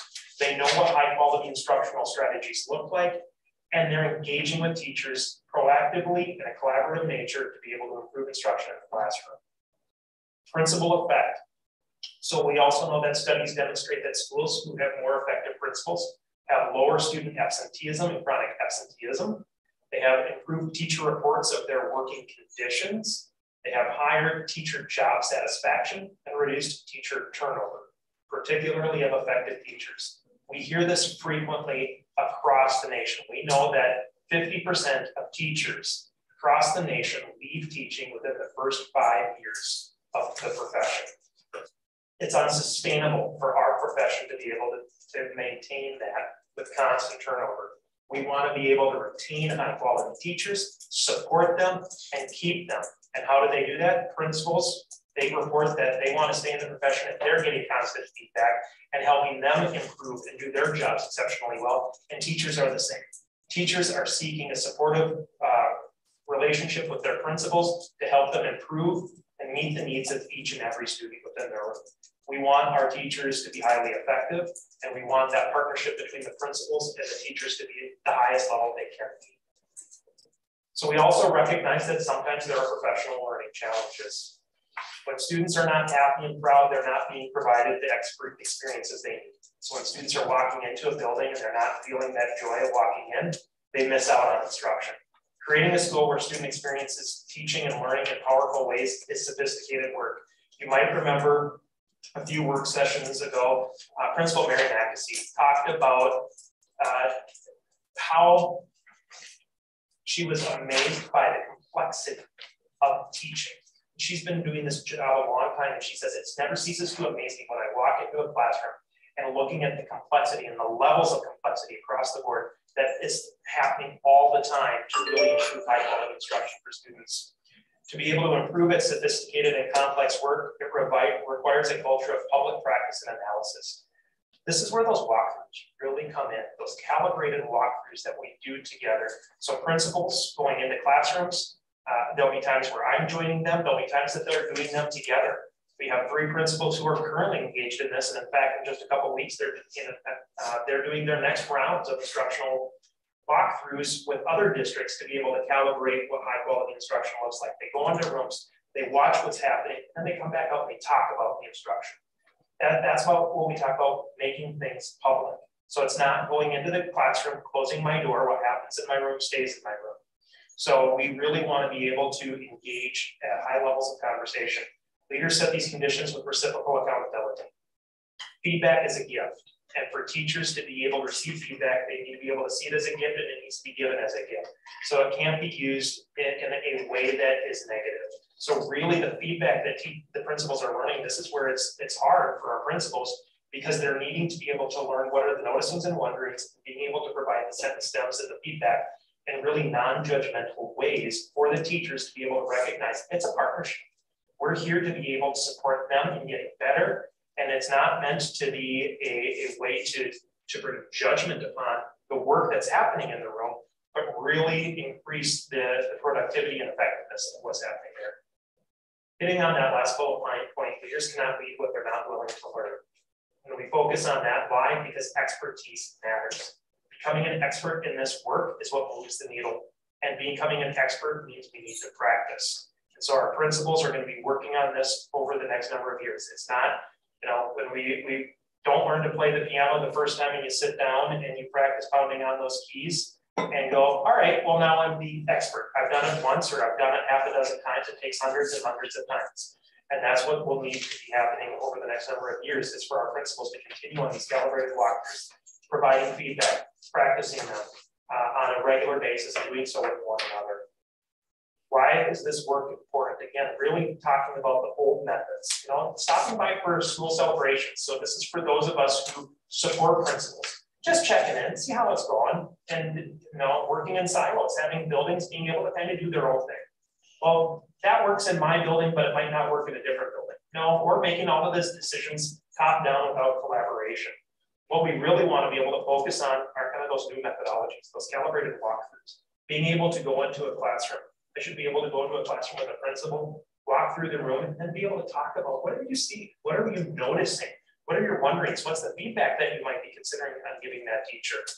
And really uh, having our principals develop that as well. Talking about the, and it says weekly data dives at every school, that's the PLC work that teams are doing. And they need to really be disaggregating that data on a regular basis. So when they uh, have finished, if they've given a pre-assessment, they've given the post-assessment, what is the student learning that has taken place? If we have students that have not hit those learning moments, what are we going to do about it? And being able to then come up with plans to be able to provide additional instruction and not just assume, well, I need an intervention teacher to be able to set them on to those moments. The shared vision for the principal supervisory role is focused on growth and learning. Principal feedback, evaluation, you know, it, it's really not that, no longer that unique take on the role. It's not just about, well, I'm gonna do it my own way. It really is allowing principals to talk to one another and setting up those conditions for allowing them to be the instructional leaders of their buildings. So the principals, you know, there's the principal supervisory academy, and then the principals themselves are going through the instructional leadership academy.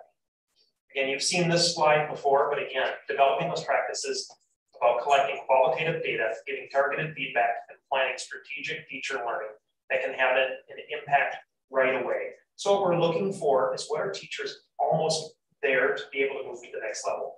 It's not like uh, finding the, the area that a teacher might have to make the biggest growth in. It's what are they almost the expert in and where can we give those little nudges to improve teachers systematically?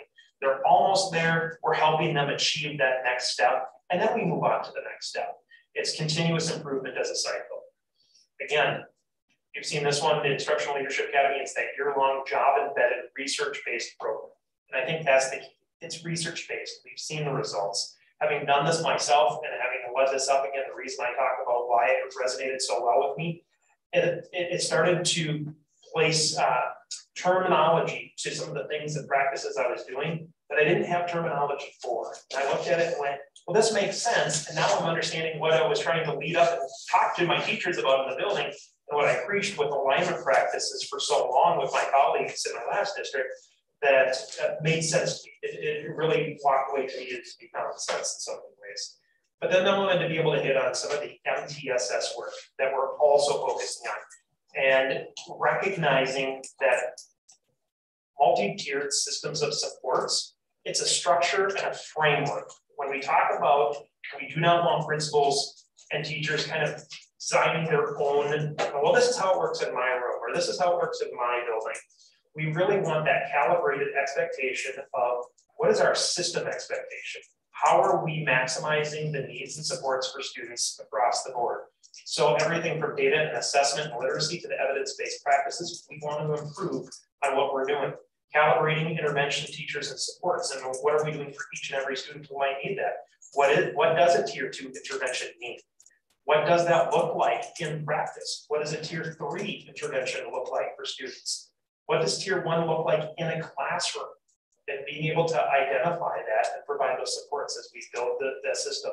This is where, as I mentioned earlier, the PLC becomes part of this work, professional learning community of the PLC, for teachers to be able to really drill down into the data and define what are those next steps and being able to partner with their colleagues if they're stuck and being able to go, boy, and the vulnerability when we talk about those open moments about my results weren't as good as someone else's results. So what did you do differently in your classroom that I can learn from to improve my instructional practices in my room? And being able to achieve those successes. So there's a lot of work that goes into this framework. There's a lot of work that goes into the training that principals are going through, that our leadership team is going through. It's uh, pretty rigorous learning, and it really is driven on that equity statement of each and every, and providing each and every student what they need, because it's not about everybody gets the same. And we recognize not everybody comes to us with the same needs across the board. So how are we meeting the individual? That's a, huge emphasis on this work. So that's the end of the, the wrap up on where we are. Again, we're going to continue with the Principal Supervisory Academy. We actually are going to be finishing that up uh, in the fall. We had to delay it because uh, one of our uh, meetings were supposed to be towards the end of January when you know we had a COVID spike and we decided to push that out a little bit. So we actually had our first uh, meetings just about three weeks ago. And our next ones are in June and the final one, I can't remember if it's September or October for us to be able to finalize that. So there's homework assignments that are actually a part of that work as well. And we think about those partnerships with the principals. There's a lot taking place. Questions? Fantastic. Well, thank you, Dr. Flansburgh. Thank you, Dr. Anderson. Thank you, Dr. Lechner. Um, this really was a comprehensive uh, report. So, um, board colleagues, questions and comments?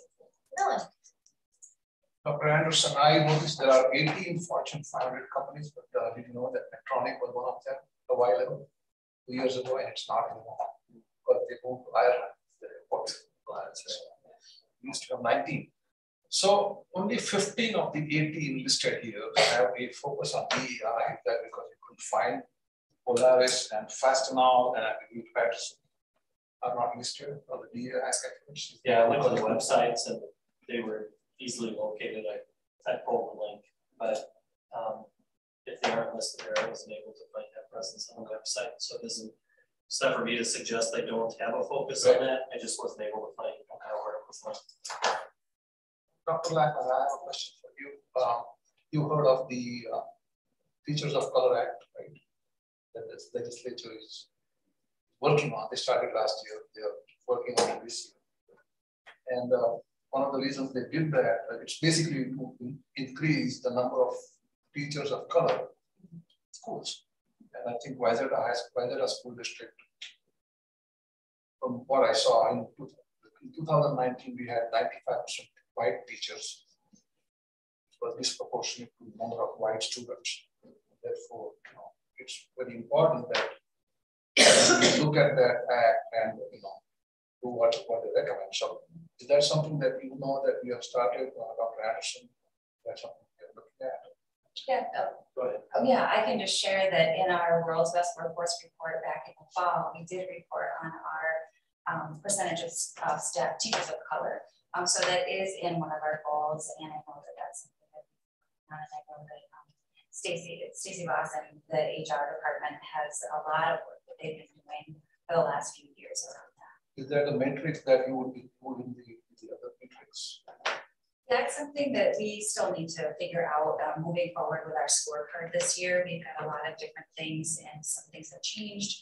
It is part of our World's Best Workforce report on an annual basis. Um, and it's just a matter of where do we fit that in, but definitely it is something that we're, we are required to report each year.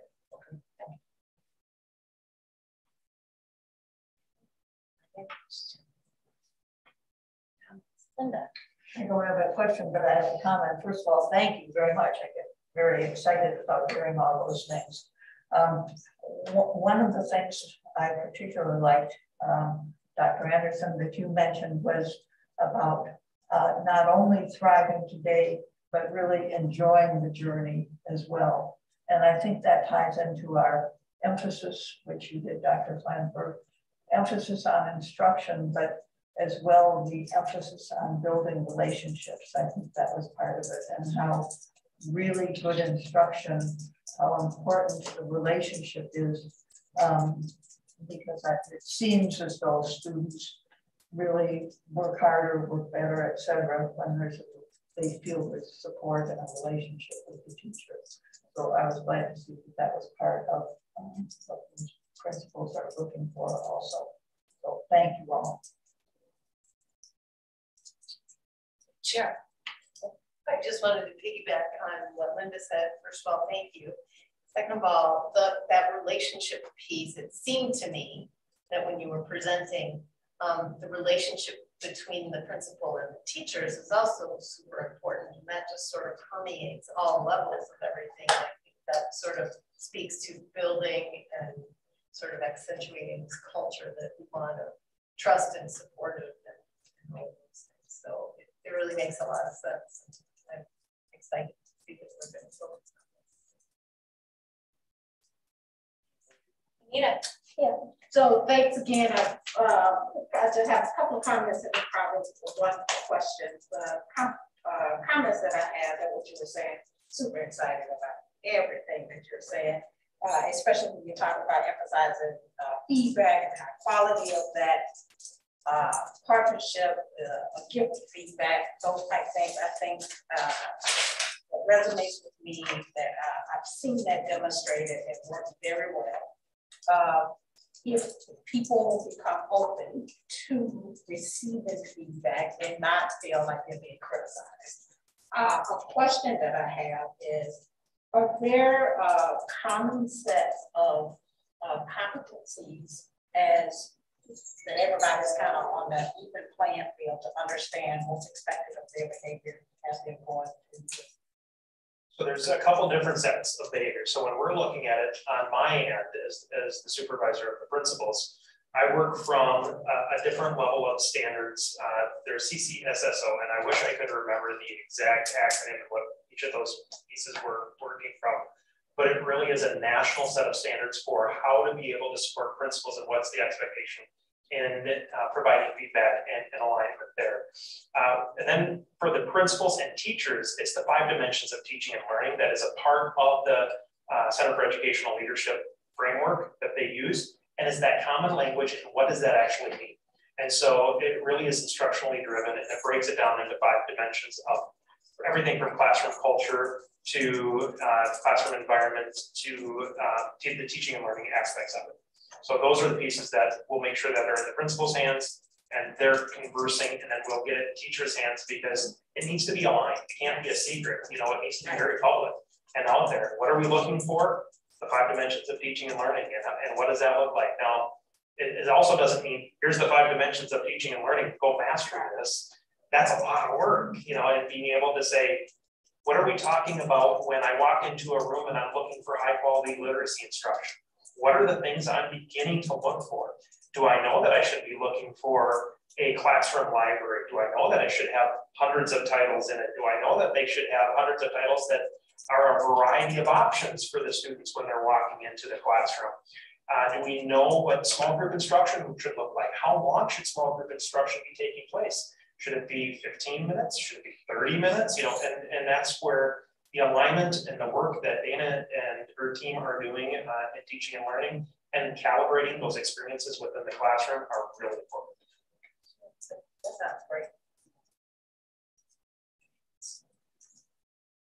Maybe I just, um, it's exciting to get to hear about all of this. It's very nice to meet you as elected. Um, I, what I think is really good is that um, this is going to bring a unified approach to the whole district and it's going to make it feel like every student is getting a very similar and every staff member is getting a similar experience through the district and I think that's super important because they all go out, right? Because everybody's going to high school together. Um, so we need them to have that similar experience. Um, this just reminds me a lot of authentic leadership and driving. I think everybody is moving towards that kind of authentic leadership um, avenue, really, and, um, I think that it's actually preparing our students for, for their futures and what they're seeing. So thank you for all this work and investing in our teachers and investing in our principals. Jay. Yeah, really no questions, just com comments. Thank you. Um, you know, being a few years removed from being a consumer of our our product, I I just it, you know I was impressed with with the way it was delivered. And, certainly the kids probably took more or less advantage of it on the particular individual in some instances. Um, one interesting slide to me was the uh, the old methods, new methods slide that I think Dr. Flansburgh presented. I mean, I'm, you know, I think obviously, obviously the world changes and our you know, changing global. On the other hand, there are certain fundamentals, you know, that you know do do, do persevere, and you know, I imagine you know those, those do do persevere despite maybe some of the slight changes in delivery. And I guess one thing that came to mind that's not really exactly related, but it was how the way I was taught certain elements of math, like long division, by the time my kids were there, they changed it. Now it's the same principles, but somebody changed it. So what's up with that? You know, I mean, and it's like, and I, I guess it's, you know, I mean, they're both, they're the same, but it's like just tackling it a different way. And, and, and it was kind of amusing to me that it sort of boxed out, um, you know, my generation from helping my kids as much as they might have been helped. And I was pretty good at that. Just wait till you help that grandbaby. Yeah. yeah. Yeah he's a district resident so far. I know. Other comments or questions? Benita? One more question. Uh, do you see this? I know you talked a little bit about uh, achievement gap, opportunity gap. So as you're diving into this work, is it a direct correlation with helping to close the achievement gap, or one doesn't have anything to do with the other, or you just use those words? Oh no, they're absolutely over. That's why I wanted to be able to focus and be able to say it's interconnected to what Dr. Lackner was speaking to. Okay. Because the work is about eliminating those gaps uh-huh. and being able to become focused. And the frameworks, and we talk about MTSS and the PLC work and the, the tiers of interventions and the, the intervention supports, it's all really, if it's not aligned, you will get random acts of results. And there's random acts of instruction, random acts of results. You'll get what you get because we're perfectly designed to get that. If we're if we redesign it and become aligned in our work, the results should change. And that's what we're really trying to do is focus on providing opportunities, increased opportunities for students to be able to access the content. They should have high quality core instruction. And if they need an additional intervention support, we should be able to be calibrated to know exactly what that student needs to provide that for them. And then being able to uh, know that no matter which building you're at, you won't see variability within the system. Zip code should not be a determination of success. Absolutely. So, so Dr. Lackner, do you see uh, data that will support alignment? Are, are there measurements that says, you know what, we are on track for how we are aligning, how fast we are aligning, or this is just really not working? I think that um, as we're learning more about the work with CEL, there are definitely opportunities for collecting additional data. You know, just thinking from student outcome data, I know that we have a lot of opportunities within the classroom to collect data and share the information um, among PLC members and all of those pieces. But I'm sure that Dana and I will be working closely with Nate to really flesh out how do we know that the work that we're doing is making a difference. Because even you see that sometimes you may have to make some shifts and adjustments. Here, let me give you an example of when we talk about calibrating and become, becoming hyper focused, laser focused on instruction. So I'll give an example personally from a building I was in we looked at the data. We defined that we had specific gaps in achievement with our EL population. So what did we do? We pulled the building leadership team together, our instructional leadership team. We talked about what are those gaps and what are we going to do about it? It's acknowledging that they exist and then refining their practices. We brought our EL teacher in who worked with every single grade level and they created instructional strategies for all of those grade levels and they're going to be different in the same building and recognizing the instructional strategy you might use in first grade will look different than in fifth grade. And, and knowing that kids are at different levels. At the end of the year, uh, we, we had our students, and well, before I even get to the end of the year, we met monthly and we revisited that topic. And we kept saying, how are we doing? What are we doing? Some months we were like, we're staying the course. We're continuing to move on what, what we're doing. And our the focus was always to have that check-in and always then be able to talk about that data at the end of the year, after we had taken our MCAs, I received a, an email from the Department of Education saying our EL students were the top 1% of, of growth for all EL students in the state of Minnesota.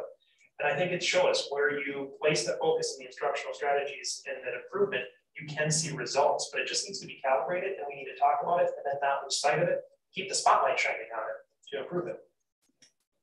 Thank you. Yeah. one last question. Yes. During COVID, um, there was a move kind of to do less testing, and I know that universities were requiring um, standardized tests and whatnot. Do you see the move coming back towards standardized testing?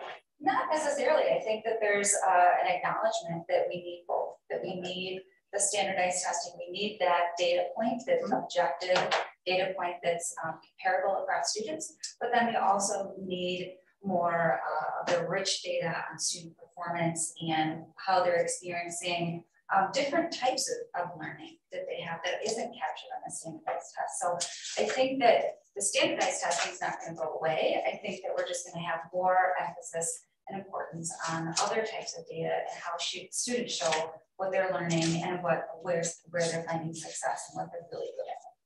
So. Linda. Well, I was just going to add, um, as far as like ACTs and SATs, that the University of Minnesota said that they're putting a hold on that until 2025, I believe. And then they're going to sort of look around and see what other universities are going to do. And uh, so for now, one doesn't have that one of those schools. I think I'm accurate. That's, yeah, I heard the same thing. Okay. We were at a college, we were a virtual college visit a number of other colleges.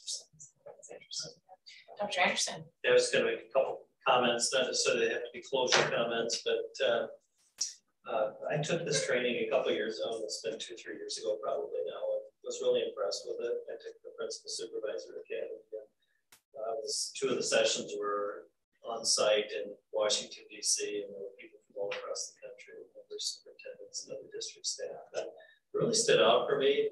You know, we all go to a number of professional trainings and sometimes you leave and think may or may not be helpful. This one really resonated with me. And I thought that it really made sense because I think it brings that continuity and that consistency to the delivery of our products and services that I talked about before. And uh, it had good alignment. The research behind it seemed really solid and uh, helping to bring forth that consistency across the organization so that, you know, whether you're at uh, elementary school A, B, C, or D, or wherever, um, you can expect predictably high quality instruction, which really is what we ought to deliver regularly. Go to Youngstedt's and want a set of tires and say we don't have any here, I wonder what kind of a tire store is this? You know, we should have our kids all going to all of our schools and expect that product of high quality instruction. And it doesn't mean that there's no uh, opportunity for creativity and flexibility, but the standard delivery uh, protocols and expectations, high expectations for each and every one of our students really has to be in place. So that really stood out for me. And then uh, in our search for an associate superintendent, it was quite pleased to see that we had a candidate who had actually done this. And uh, uh, references spoke very highly of the work that had been done in the buildings where they had been. So um, that, that stood out for me. And also just in general, um, the, uh, peel back to organizational design. I think what you heard, you know, if you think about it on your way driving home tonight, you can think about, okay, what did I hear about products and services from this presentation or even throughout the, the course of the, the work session today. Um, what did I hear about our customers and who it is that we're trying to serve and delight and please and have them uh, be deeply loyal to us, like so many of our students and families are in the community. And then what did we hear about operations? And you know, sometimes that can be a little less flashy to hear about some of the operations, but equally important because that's what's builds the foundation to support all of what you just heard. You know, we talked about budget before, striking that balance of it being efficient and effective. We don't want to trim so much in any particular area that we lose effectiveness. Um, you also can't necessarily uh, drive every area off the charts uh, to that level of effectiveness that isn't efficient and can't afford. So, you know, I think we heard a lot of that that really supports that organizational design model. It speaks to our products and services, our customers, and our operations. So kind of going back to that organization design. So, so thanks, Tim, for. Dr. Anderson, do you have copies of that um, Tracy There's no book? I, I think I might still have my own. do. Uh, I'm thinking of Eddie and, and Millen for. I, I, I, oh, you do already, yeah. Because it is from, my, from, our, from our MBA classes. Uh, that's a good piece. If I have, uh, I'm never caught without extra time. In case someone ever asks. I've heard good secret. And, and well, and I think there's some, uh, the board has obviously copies of street data too that we have to make sure, so, so we will go through.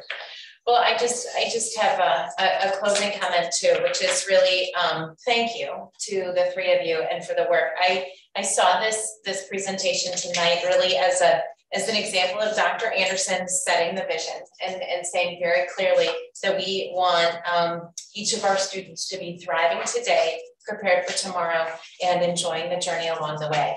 And then your words were then translated in what Dr. Uh, Lackner and Dr. Flansburgh said, with also an overlay of how we are emerging back to better and how we are really looking at growing from the last three academic years and two years. And, and what I heard is that we're digging in and, and that we're digging in um, to our students and that our street data is really looking to understand that experience that our students have had from a very personal level that's very different than what we would have guessed three years ago, right? But yet we're also monitoring our environment and looking at sort of the map level of how our buildings are doing and then the overall level of our district. And, and then I heard Dr. Flansburgh, you talking about how we're super digging in to support our teachers, our students, right? And our teachers that's the core of our business. And and we're leaning in to the classrooms. We're giving supportive feedback and understanding that that it, there's an intentionality behind that. And then we're doing continuous learning across the system based on the learning that the principals are doing and our SLT is doing. Um, and we're really understanding that it's a new world and it's time to to dig deeper and go deeper. And so um, I think this work is really exciting um, it puts our students at the center, each and every student at the center. And um, and I look forward to, to hearing more about it and, and we can't wait to see what happens. So thank you so much. Thank you. Thank you. And on that, we have concluded our agenda. Um, so the Wayzata Public Schools Board of Education work session for Monday, March 28th, 2022 is adjourned and have a fantastic and relaxing spring break